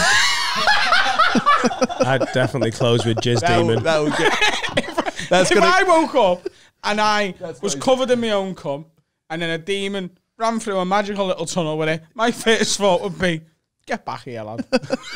That's mine. I think I'd be like, what? What? I, so Lad? I. That's my jizz. be like, lad, I'm a jizz demon. Give a fuck. Hang on. What a weird Hang job on. as well. You're a See, how- thieving jizz demon. How did he know that the like? How did he know? Ah. Because I imagine he's meant to be this religious guy, so he doesn't wank either. So Hence how, why he's had a fucking wet dream, isn't he? or And he's felt guilty about it. or the demons come in, spunked all over him, and then thought, I can't leave him looking like that. I'll wipe that up before I go. All Mate. the demon wanked him off. so How do you tell your mum about that one? mum! I've just had to chase a jizz demon into a different realm to get my jizz back. All right, Thomas. Probably don't tell me about every jizz demon, Sweet Pea. Love you. did he give it back? If he if he gives it back, use a fucking Kleenex. I, I, Mate, we, what Yeah. the fuck? I, I had. There is no topping Jizz Demon. I don't know where you're trying to go with this story. no, no. If you can top Jizz Demon, I will be very fucking surprised. Tom's like, no, I really need to finish Jizz Demon. Uh, I had my favourite heckle in Adelaide because I was telling that bit of the story, and my question was, how did the demon? I called him a wank demon, but jizz demon's great. Might use that. How did the wank demon collect the jizz? Right? Did because did he come up and fucking scoop it? and Bounty. then- right? What? Boun- one sheet. A bounty? Bounty? No, the fucking Bounty's a, kitchen roll. what? A fucking dip it in coconut chocolate? What do you mean? no, the kitchen yeah, I, roll. I did think chocolate bar. I thought you would come up and just went. "Hmm." yeah, you mean Blitz? No, Like, the, the kitchen roll that soaks everything up with one touch. not the coconut chocolate Not the bar. coconut- no, not the coconut. Are you yeah. sponsored by Bounty? Oh, yeah. How'd you collect jizz? if you're a Jizz Demon. Picks everything up with only one touch. Wet wipes. the Might not Jizz be wet when you start. They will be when you finished. oh dear. Come. comes wet. Do you know what I mean? At the advert. know comes, what I mean? comes wet. Comes wet. So he, Do you know what I he, mean? he heckled going, Oh, it was a lady. right? Uh, and it was the most Australian thing ever. So I said that how did, did the wank and scoop it up and then try not to spill it as he jumped through the portal. Um, and this lady just goes, "Oh, get fucked! You get a tissue and you just grab it." Yeah, that's the point. And I was That's the point. like, "That is fucking great." Oh god, right. Was that your out point? Sorry to carry. Oh my god, Carl. We- There's no, you can't beat Jizz Demon. No, I mean, how long did you stay in the cult after? Oh! that? Right, I that was probably a couple of years after that. That was 2012 So or you sat through 2013. Jizz Demon. I'm like, I'm giving this another 24 months. and that's it. That was a little silly, but I don't have to spend that extra 10%. Two more years to That's it. convince me, but not a minute more. I'd have been gone. You There. gotta admit though, it's fucking entertaining. You're in there. You, you got a great story every week. Jizz Demon to be one of them. You know what I mean? Fucking feathers, gold dust. Like it's entertaining shit. That feather one. So still. that that my point. I did have a point for Dan though. Feather one's not quite as. Like, the feather one's like, oh. Jizz demons are real shift up the gears, isn't it? Yeah, yeah. She like Marjorie got a feather on her shoulder. Fuck Marjorie. I Jason jizzed, on, I jizz jizzed on my belly and had a jizz demon clean it up and run away. So fuck Marjorie and a heavenly pigeon. Yeah? Let me tell you how we do it. don't understand how cathartic this is. I'm having the best time. Sat around the fucking dinner table. Well, how were you touched my God? There was a feather on my shoulder. How's the margin? Well, let's call this fucking 3 1 girl. Listen to this. Buckle up, feather lady. He, all right. So he, this is my point. So Dan want to know, fucking, what's your out from this, right? He was part of a huge church called Bethel in the States. And I Googled him when I was writing this show. I was like, I wonder what he's fucking telling people now. That church has disowned him and he's been extradited because he's gone too far. He's too whacked out. The jizz So they've gone, yeah, mate. Just he's because he was talking about aliens. He was talking about he was teleporting up to spend time with aliens, and they were like, but I was like, oh, that's too far, is it? All the other stuff's fine. Yeah, because it makes you look silly, doesn't it? I think a lot of it does, mate. They're so rich, these churches, the evangelical churches in the South. Oh, fucking So loaded. sinister, if you want to make bank, become a pastor in one of these churches. Get a good jizz demon. Mate, you get, like I said, you get a bucket at the end of your, your preach as well. Yeah. Let's have a break. I don't know what sponsors going in here. Maybe we should just give it. if if there's just thirty seconds of like a blackout, it's just to have, give everyone a breather. Phenomenal. 30 seconds of nothing coming right up. What's happening, guys? Ooh, look at your outfit. Shocking. You look horrible in that. That's a shit t-shirt, jumper, dress thing, whatever that is you've got on. What you need, lad, is a fucking t-shirt or a hoodie from haveawordpod.com. You want some official Have a Word merch? Go to haveawordpod.com and get some then, instead of wearing that fucking shite you've got on. It's horrible. You look a joke. Don't be leaving the house like that. You want a hoodie that says rat. That's what you need, lad. Go and get it. Haveawordpod.com. Hey, hey, hey, hey, hey. I haven't had the. I haven't put my vaccine in. You know? I've tried it a couple of times and then just got annoyed with the process and went ah. Bring you, what do you mean? Bring I it just in. keep getting like text messages and then it's just a fucking pain. They're like, oh yeah, you should go there or there, and it's nowhere near me, and I'm I thought you meant bring it in here. Said booked. Oh, booked in. I thought Yeah, you said booked bring in. it in. I was like, what the fuck? because you just you just had your vac- COVID vaccination. last week. Yeah, I had it. Went straight How to a you wedding. feeling, babe? You all right? Had a bit of a sore throat. I'm okay. Yeah, no, I, You're a survivor. it made me late to my mate's wedding. I like got there and uh, we're lining up. It was a bit rainy on Saturday morning. Lining up outside, and then a lady comes rushing out and goes, "I'm really sorry, everyone. I'm gonna have to wait for about 40 minutes or so uh, because uh, three people in front of you have collapsed." And I was like, "Fucking hell, this is like a skeptic's wet dream." Like, you know what I mean? But what happened is the bloke behind me on the phone was pissing himself laughing because it was his three mates. They're all scared of needles. So she should have said fainted because they were fucking pussies. They weren't actually. They go in there, and sit down. Because it sounds like they've had the jab and then had the stroke. Right? Yeah. Yeah. Yeah, yeah, yeah. Collapse is a fucking Yeah. lot more severe sounding than They fainted. started rolling out the door. Jesus. She's got the COVID rolls. I opened the door up. I was like, fuck, I know her. Um, I sat down. They're like, you're not going to collapse, are you? And I was like, no. And the doctor's like, he'll be fine. And what I realised is the people working there, quite a lot of volunteers at the moment in there. Yeah. So there she was. She comes up, sits down. She goes, you're not going to collapse? And I was like, no. Doctor's like, he'll be fine. Bam, she jabs my arm. She goes, oh, sorry. That's fine. I said, it didn't hurt. She's like, no, no, I've, I've just jabbed you, but there's no vaccine in the needle. I was like, sorry? She's like, no, I've, I forgot to fill it up. I was like, so what have you jabbed me with? Fucking air. That can kill a cunt. You know what I mean? If you get air put in your veins, it Yeah. can kill you. She's like, no, no, no. I, I put it in, it was collapsed. And then I'm like, how did you not notice that before? So she left, came back. I got a second jab, mate. And you're telling me you're a volunteer, madam? I've been doing loads of vaccines. 20 people dead because they're not actually vaccinated. That's probably why those cunts collapsed. is They've been jabbed three or four times You with no got vaccine. stabbed by a stranger. Yeah, Yeah. yeah. Yeah. And n- nothing can happen. No, And people wonder why I've not booked in the vaccination yet. yeah. I'm nervous about getting my second one. It's I thought you me- weren't getting it. I don't want to, but I also Why are want you to go to nervous? Corfu Wait, hang on. You've already had the first one. Why are you nervous for the second?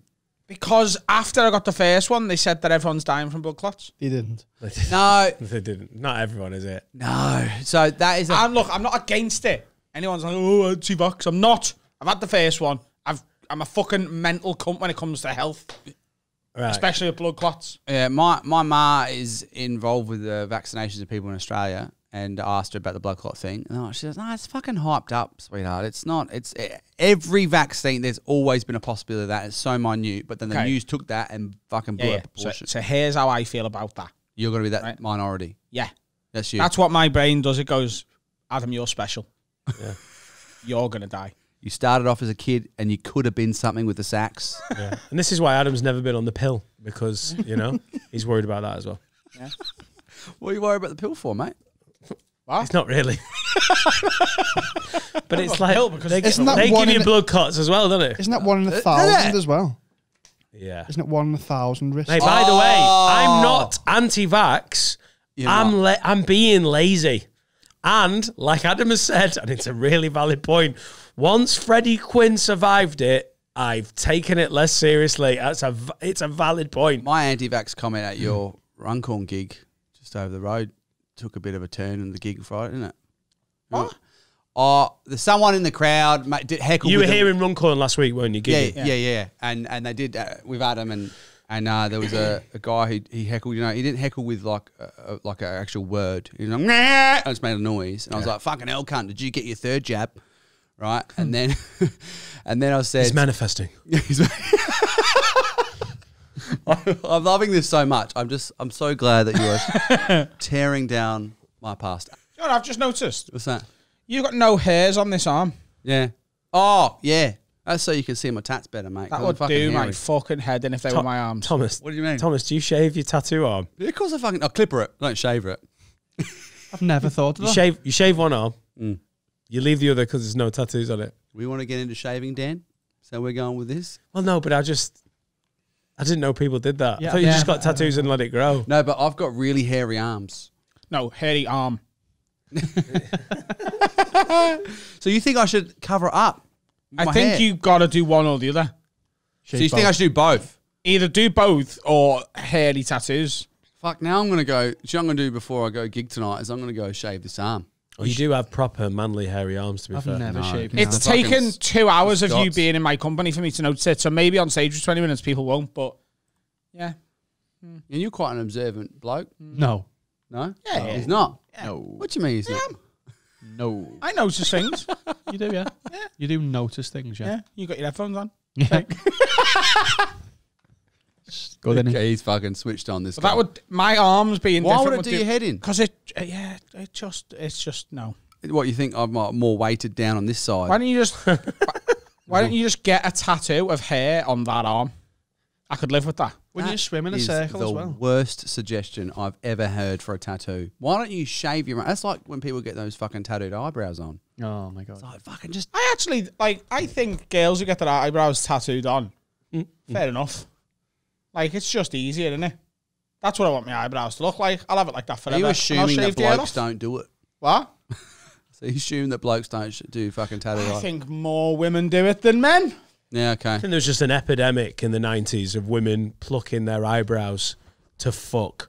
And now you've got the like the remnants There of it goes again. with like going, shit, I need some eyebrows. But I think it's a really extreme option, isn't it? Yeah. You've got to, you know, I, I to went to school it with a bloke who tattooed on. He um he was a very expressive individual and in year 10 he shaved his eyebrows off and used a marker to draw them on so for his birthday we got him a pack of sharpies But- Mate, the Christian banter is fucking killer on it. I drew your eyebrows on. Had to, had to apologise to Happy it. You've used pen. We've got you more pens. Helpful piss take. you look a little silly. God forgive me. What would happen if you'd say, "Oh my god"? Would you get like punished? oh yeah get getting loads of shit You can't say, "Oh my god." Blasphemous. What isn't about? Jesus Christ? no you're blaspheming isn't it it's all part of that that's why now I, I thought say blasphemy- all the time I thought Liberated now. blasphemy was like saying God's a dickhead. No, just using his name in vain at all. So using it as Uh, I guess it's for an expression Like of an exclamation. yeah, because it's not like Could you get round it by saying like Jeebus Christ? no Christ. that sounds very close. Yeah, Are you exactly. alright? I know it's late, the, later than usual. but are you alright? Are you okay, hon? Could you get it round by saying, Jeebus Christ? and I was like, that guy's fucking stupid. Jeebus Christ.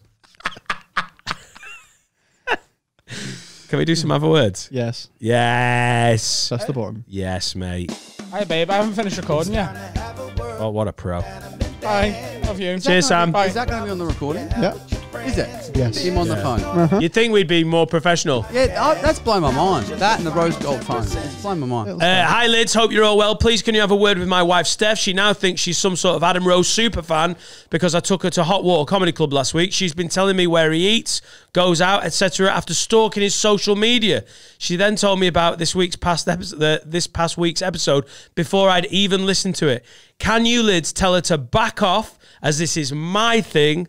Am I being unreasonable or am I right to want my own things? Listen, Thanks, lad, I want Matt. as many fans as possible. And if I'm going to have a stalker, I'd rather it be a woman. Bro, I'm telling you right now, it sounds like she's going to come in during your sleep time and fucking steal your jizz. That's what it fucking sounds like. He's Yeah. going to have his. He's got his own fucking jizz demon here. Yeah, I'll have, I'll have a jizz demon. As long as she's fit. Sorry, Matt, your wife's just been called a jizz demon. and, um, the, and the best thing is, she knew about it before you did. it's so true. If I, if we're gonna get stalked, it's God. I re- I much prefer a, fe- When- a female stalker. Yeah. It's a I bit I don't want like you know. knows where you eat. So does that mean because Yeah, you but that's because he puts every meal on Instagram. It's not like she's Oh, a I was thinking inside the house, like what rooms he eats in. I was No. thinking oh. she was a proper creeper. Matt, he's in the dining room. it's because he's like, oh, I've been to this restaurant. He puts it on social Oh, media. that's true. You do She's like- not roast dinner in the bath. Yeah, she's not investigating. she's just following him on Instagram. Is that a thing? Have you done that before? Had the roast dinner in the bath. Yeah. Yeah, yeah. yeah. Oh, Get I'm- fucked. Oh, a beverage in the bath's quality. Bev- on oh, the I never had shower. a roast dinner in the bath. But when you've got a little, when you know you're having a little bath and you've got a little can of something. No, that's cold. Steve. That's having a bev. He's talking about having a fucking roast. He gets a floaty plate what? because you got to use two hands big for the rubber roast, plate. haven't you? Thomas, even the few seconds when you believe us is worrying. it makes me think, Jeebus cry.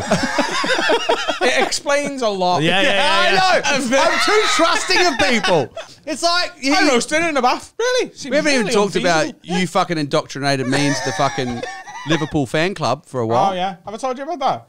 He's a Liverpool fan because he spent an hour and a half with me. He's the most easily led person Oi, ever. it was he groomed me. Don't go. Listen, unless you want to, I wouldn't go and go dancing at gay clubs. That's all I'm saying. Because I think you could have an unusual night with one of our dads. We, the first night we met was at Top Secret Comedy Club when England were knocked out of the World Cup by Croatia, right? And we s- stood around having a drink, and he's like, "Been trying to get into the EPL, which is the Premier League." Oh God! And he was like, "Me, my girlfriend's family uh, are West Ham fans. They really want me to be a West Ham fan. Uh, I live in Nottingham, so maybe I'd support like Nottingham, but then are in the EPL. And then he's like, and Liverpool came and did an Australia tour, so maybe it'd be Liverpool. And I was like, you should be su- support Liverpool. It's the only one that you're ever going to win anything with. If you're going to be an EPL fan, then you might as well wrong, be one it? that might win something at some point, and you, you'll enjoy it. Which franchise should I choose? At the end of the night, he was like, at the beginning of that, he's like, yeah, I don't know. By the end of the night, this is 100% true, and you can ask him. He'd bought himself the home shares and booked a stadium tour. 6 p.m. I don't know who I'm going to support. 11 p.m. You'll never walk alone. Jesus Christ, Thomas. I did the tour as well. It was great. Of course you did. Yeah. The next day. Yeah, it was awesome. Got a train up there. Mighty. Nah, yeah, for real. That was very. You were very convincing. I didn't do much, to be honest with you. Yeah, they're quite good. Fucking, I'm in. um, another have a word. All right, lads. Can you have a word with my, uh, every bell tower who tries to make their job sound more sexy and important than it actually is? I live and work in Murcia, Spain, and teach like the sensei did as an English teacher. My official title is Director of Studies at a private language school. But if anyone asks me to tell them I'm just a fucking teacher because I can't be bothered to get into the unnecessary details of it all. And if anyone asks how my day went, I always reply with a blanket, fine, because I know deep down nobody really gives a flying fuck. But then I, when I speak to people, especially back home in the UK, they really love to go on and on about the nitty gritty of everything that has happened. And the main topic of conversation I have with people seems to be work. Maybe it's just me. Maybe have a word with me for being an impatient prick. Do you ever find this with other comedians who don't seem to have anything else to talk about except comedy or would happily start a work conversation at a funeral? Uh, so that's from Kev I'm sorry, but in Kev, Murcia. Kev has complained about having to talk about his job in detail. He's fucking spent the time to email in about his job in detail. he literally. Uh, to be fair, we can't take the piss out of that too much because then no one will email in. And if you've got to have a word, have a word pod at gmail.com. We are sort of running out of them. But if we were like, ah, this prick's written in, they'd all end, wouldn't they? so it's, it's kind of a, I can see the hypocrisy of it. Like, ah, these people just talk about the job. Let me email about my job. yeah. So but the, the the job title thing is sort of a, a semi well trodden in stand up, isn't it? How people like, you know, like I'm a cleanliness uh, technician, you're a fucking a window cleaner. Like it's just there is there is a there is a snootiness about it. You've done some teaching. Yeah. You don't just teacher, just teacher. Yeah. Well, Thomas teaches in London, so he's only going to be called a teacher, isn't he? Because that's our word for it. Okay, yeah. What do you mean? I'm really confused. Well, what are you. You Adam's teach. being a dickhead. No, I'm not. You teach in London, so you're not going to be called sensei or whatever it is. One was Oh, oh, I'm with you now. called teacher. Yeah. Yeah, t- t- Yeah, yeah. I can't I can't fault you. Oh, do you You're right. mean in terms of like You've never- the job title? Yeah, yeah, you've never Nah, fucking PE. Oh, You you're teach PE. Yeah. I didn't know you taught PE. you're a PE teacher. You were a PE teacher. Yeah, yeah. Right, yeah. okay. What's your favourite sport to teach? Oh, do you know what? That's a tricky one. Uh, not just American I football. really. Do you know what? In Australia, when I was teaching there, I, I did do in my final year of uni. I tried to teach American football to a group of year tens. What a fucking shit show! Yeah, 17 concussions later. Oh mate, yeah. But we did it as flag football. You yeah, know, of we- course, yeah. no hitting, but fucking. You weren't like padding them up like, this is why we play. Every fucking inch. Yeah, you you had a really bad concussion at one point, didn't you? I've had two really, three, yeah, three really bad ones. The wor- And memory loss is the I effect of believe in that. Jesus. Absolutely sums it the, up. the worst one I had was back then, 2012, uh, and it was back when I was involved with the church and all that, and got knocked out. I didn't. So I remember I was a wide receiver. I was running long. The ball, the quarterback got hit as he threw it. The ball went up and it got lofted up, and then I had sort of broke down, and realized the ball's going to get intercepted. It got intercepted. I turned around and this linebacker had just who played for Australia. He just ran a dirty play, ran straight at me. Last thing I remember was seeing his helmet and thinking, "Fuck!" Bang, helmet to helmet. the I ball was nowhere near you. no one near me. He was like, I'm watching the ball. There's the wide receiver. He'll definitely get it, and then I'll hit him. Then the ball was nowhere near you. And he you cu- didn't have the yeah. ball, and he still completely cleared you out. fucking annihilated me, depleted me. Like I was like proper feet up in the air, bang. And then, but I got straight back up. I don't remember any of this, but I got straight back up, went to the change rooms, felt happy as Larry. Apparently looked fine. Mate was like, "You all right?" And apparently I was like, "Yeah, yeah, yeah, fine." Sat down, and then we were, we were down at half time. So the coach is giving us a total spray, and then my mate said he was sat across from me in the locker room, and he just saw me sort of just do the thousand yard stare and zone out a bit. And he's like, "Greeny, you all right?" Apparently I just stared at him and then sort of just looked down at the floor and then just snapped and just went, Why am I wearing this? Why am I wearing this? What the fuck is this? Threw my helmet, started just stripping off, and they realized, oh fuck, he's got concussion. So in comes the trainer, comes, grabs me, pull out. They can hear me wailing in the other room while he's fucking. They took the team out. I get stripped down. Uh, I've stripped down myself down to my fucking jock strap, and uh, they've called my they've called my my ex right, and uh, to let her know what's going on because I'm gonna have to go to hospital get che- checked out. I didn't know who the fuck I was. I put her on the phone, and they s- said, um, uh, it's, "It's your wife," and I was like, "What?" Put on, She's like, "Who's this?" She's like, "It's your wife." I was like, "I don't know. I was fucking married." She's like, "Yeah." I was like, "Oh, how, is it going well?" She's like, oh fuck, okay, this is bad. And then uh, I was like, how did I get here today? She's like, you drove. I didn't even. I was like, fuck, I got my license. I got knocked back to when I was like 15. and then yeah, I then uh, they left me. They took off the phone, and then they called my my folks to come pick me up. And uh, as they did that, they then lost where I was, and I'd fucking started wandering back through the, the from the change rooms, the little passage into the stadium. I was walking out through the little passage, and there's me and my jockstrap walking out in front of people, and they're like, "Fuck, Greeny!" And they came back and pulled me back inside. But that was a pretty bad concussion. When did you sort of? When were you all right?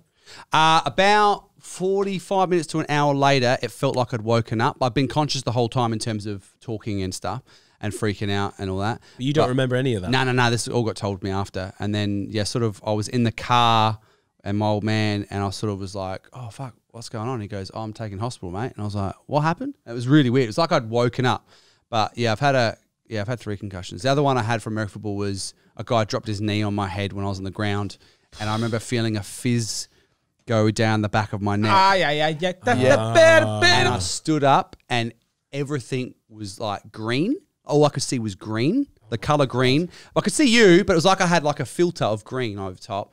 And my mate came up to me and his numbers were coming out of his shirt towards me. And I was like, he goes, You all right, mate? And I was like, He goes, That was a bit of a late hit. I was like, Yeah, yeah. I said, Your numbers are weird. He's like, You're going on the bench. And so, yeah. on the bench. Take five. Do you know, it's one thing if My you numbers are weird. if you're getting You're not going to catch the next one. Sit down. We'll get you in for the get you in for the final quarter. Don't worry about that. if you're getting paid millions, you can see like why you take that risk, but you're just playing amateur Australian local fucking American football. Yeah.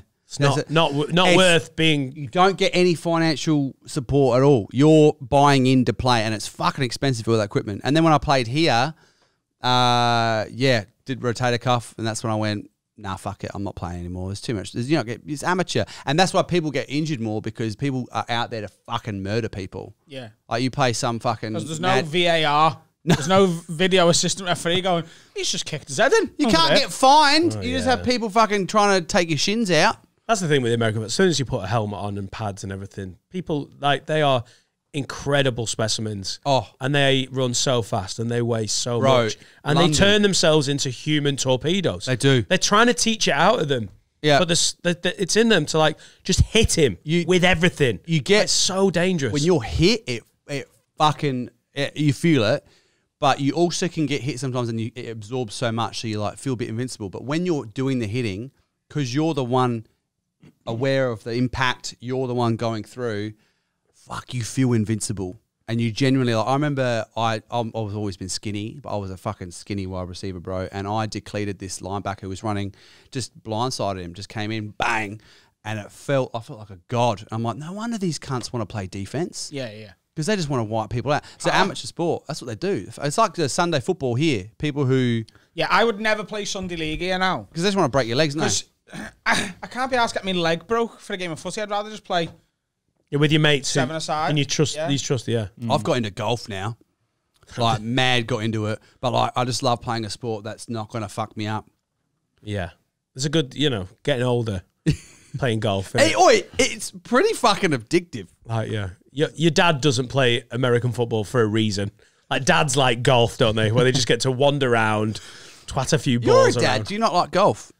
I could, mate. I could see. Adam played I could a lot, see you know. the attraction. I could see the attraction, but I'm not there yet. He played. We, I Dave- played quite a lot when I was a teenager. Yeah, I really want to get back into it. I'm going to play a little bit this summer. Yeah, fuck yeah. In terms of this guy, I mean, people are oh, always Oh, yeah. gonna people are always gonna build up their job and everything. And what he was saying is, that, do you get annoyed about comedians who can't talk about anything else? I'll be honest. I love a good shop chat. I It's like time it. and a place though. Yeah. Like I enjoy spending all night talking about comedy. Sometimes With the right people. Yeah. The most annoying thing in the world, and I know there's a couple of newer comics who are regular listeners to this, is when, for example, we're at Hot Water and it's a, a Wednesday night and you're on doing new stuff and I'm on doing new stuff and Paul Smith is headlining and Danny McLaughlin's comparing and Freddie's on as well. And then there's two brand new open spots in and we just want to have a pint and a laugh Yeah. and fuck around and call each other dickheads. And then it's the nth degree of inquisitiveness from the new acts going, how do I do this? How do I get here? How do I-" It's like, chill out and just have a laugh with us. Yeah, yeah, yeah. Like, it, we, you don't Be need normal. the- Fucking just enjoy degree. the night. Yeah. Yeah, yeah. You can't really talk shop with someone you don't. It's, this sounds so cunty. Respect. Respect. Yeah. If you like, and I'm everyone's trying to work it out, and I I've been there and I understand the process. One of my least favorite things is being in a, a dressing room with an act who's new or I've never heard of. There was this girl that was, I think it was the Frog about three years ago, and her whole thing was like to prove that she was valid, pro, and everything. She's doing an unpaid ten, and she wasn't a professional act. I've never heard bigger talk. It was all status. It was all bravado. It's the most boring, like Yeah. offensive shit. You're like, what are you trying to prove? Prove like, it- that's the worst thing. Talking shop when you clearly know you don't know know what you're on about. Yeah. That's even worse than the, the new act going, oh, you're doing a podcast. Oh, Paul Smith, you're doing well with the videos. like I can understand. At least they're not going, I know everything. Talking shop with someone who's talking bollocks. Oh my god! Yeah, I would literally rather go out into the crowd and talk to some guy about plumbing. About like, tell me about what you do. Fuck me. No, like There's nothing more annoying than the the the newer act who's pretending that they're a pro, who's Yeah. pretending that like this sounds cunty in the same way. I know what you you mean. I'm not trying to be. It'll actually help people when they're talking. If you're a newer act who's doing this, and you're doing it around big comics a lot, trust me, they find it annoying. Is when you're like, we're the same. Because I've been doing it six months and it's going okay. And you've been doing it 25 years and we're the same. We're, the, we're both comics. We're the same. the one. You know what it's not, like It's when not even just comedy though, is it? That's every industry. it's just like, yeah. It happened to me You at can hot see water. it as well. If you're watching that, you can see the experienced comic being like, just talk to me normally. Yeah. Like, Yeah. You can also see some of the other professional comics in the room go, ah, and I'm out. Paul does that a lot. I remember when I first met him at Hot Water years ago, and it was a Monday night, and I just saw him in the corner, and then so we were just chatting about shit. But I remember coming in and just seeing him on his phone because the people there are talking about the most boring shit. And then only a couple of years ago, we're at Hot Water, and they He's there every night. and he is. And there was an act who, because Paul's lovely, right? He's such a lovely bloke, and he'll give you the time of day. But we sat there, and it was also like the battle. You said I'm a nice bloke. It was almost like the battle between me and Paul being the nice bloke, you know, because everyone slowly but surely started leaving the room because this open spot was being so fucking whiny, complain, oh, you know, I just feel really under the weather, and I don't know how I'm going to get through my set, and oh, it was just like so much fucking drama, and I was like, I just can't. This, they're unbearable. I'd have been out. Everyone was, but I was just sat there going, mm-hmm, mm-hmm. And I thought, I'm just going to hang back here, you know, watching everyone on the TV and whatever and, and chatting away. And then everyone slowly left until it just got down to me and Paul. And Paul was on his fucking phone. and so technically it was just down to me. And then Paul left the room and it was just me with, oh, it was the worst. yeah, I've got What no did you I What did you sign up for, Thomas? did you end up living with them? I'm back in I've a never had a cold. cold either. Try this new medicine. Oh, fucking hell. Right, my ear. This is how I know it's been a long pod. My ears are hurting from wearing the headphones. That's when it's Hurting? been. A, yeah, they just I feel a bit squashed. Should we tell them about the London date? We've got uh, it's on sale. I think I'm going to record a very quick pre thing to go to the start of the episode. Nice. So they actually already know about this. But yeah, the gonna Underbelly. Festival. We're doing Have a Word live at the Underbelly Festival at Cavendish Square. It's not on the South Bank this year. It's at Cavendish Square. Uh, Lids on tour. Come and see us in London. It's going to be a beautiful late summer's evening. It's the first, sh- like second, only the second live show, isn't it? It will be the first link in the description on your podcast app, or if you're watching on YouTube, it'll be in the YouTube description. It will be the first link. Won't it, Colin Finn? It will. It'll be the first link. The Underbelly Festival. It's going to be me and Dan. We're going to get a special guest or two. We're going to do stand up in the first section, have a little break, and then do a live podcast in front of hopefully a sellout 500 seat Spiegel Okay. tent. It's going to be great. Uh, the boys will be with us, and it, it, it's our second ever live show. The first one outside of Liverpool. It's going to be great. Yeah. Sign up for the Patreon, patreon.com slash have a word pod. We have got uh, our ghost hunting special coming up very soon. Thomas, where can we find you? Thomas Green Comedy. Give me a follow on all the socials. Everywhere. Everywhere. Everywhere. Nice one. Yeah. Okay. There we go. Please buy tickets to that underbelly thing. I've never been invited to this thing before as a solo act. And I'd fucking love it. Because there's still people in this fucking industry who's like, oh, Adam and Dan have got their little thing that they're doing, and it's just their little thing. I'd love it to just sell out dead quick. So even if you can't be asked coming, just buy a fucking ticket. That's definitely how that I'd works. love to sell it out just to shut everyone up. Don't make us look like northern knobheads in London. Like, oh, we thought well the people would turn up. Please come. If you're from within three hours of London, come. Uh, go ahead. Yeah, that'll do. Go ahead.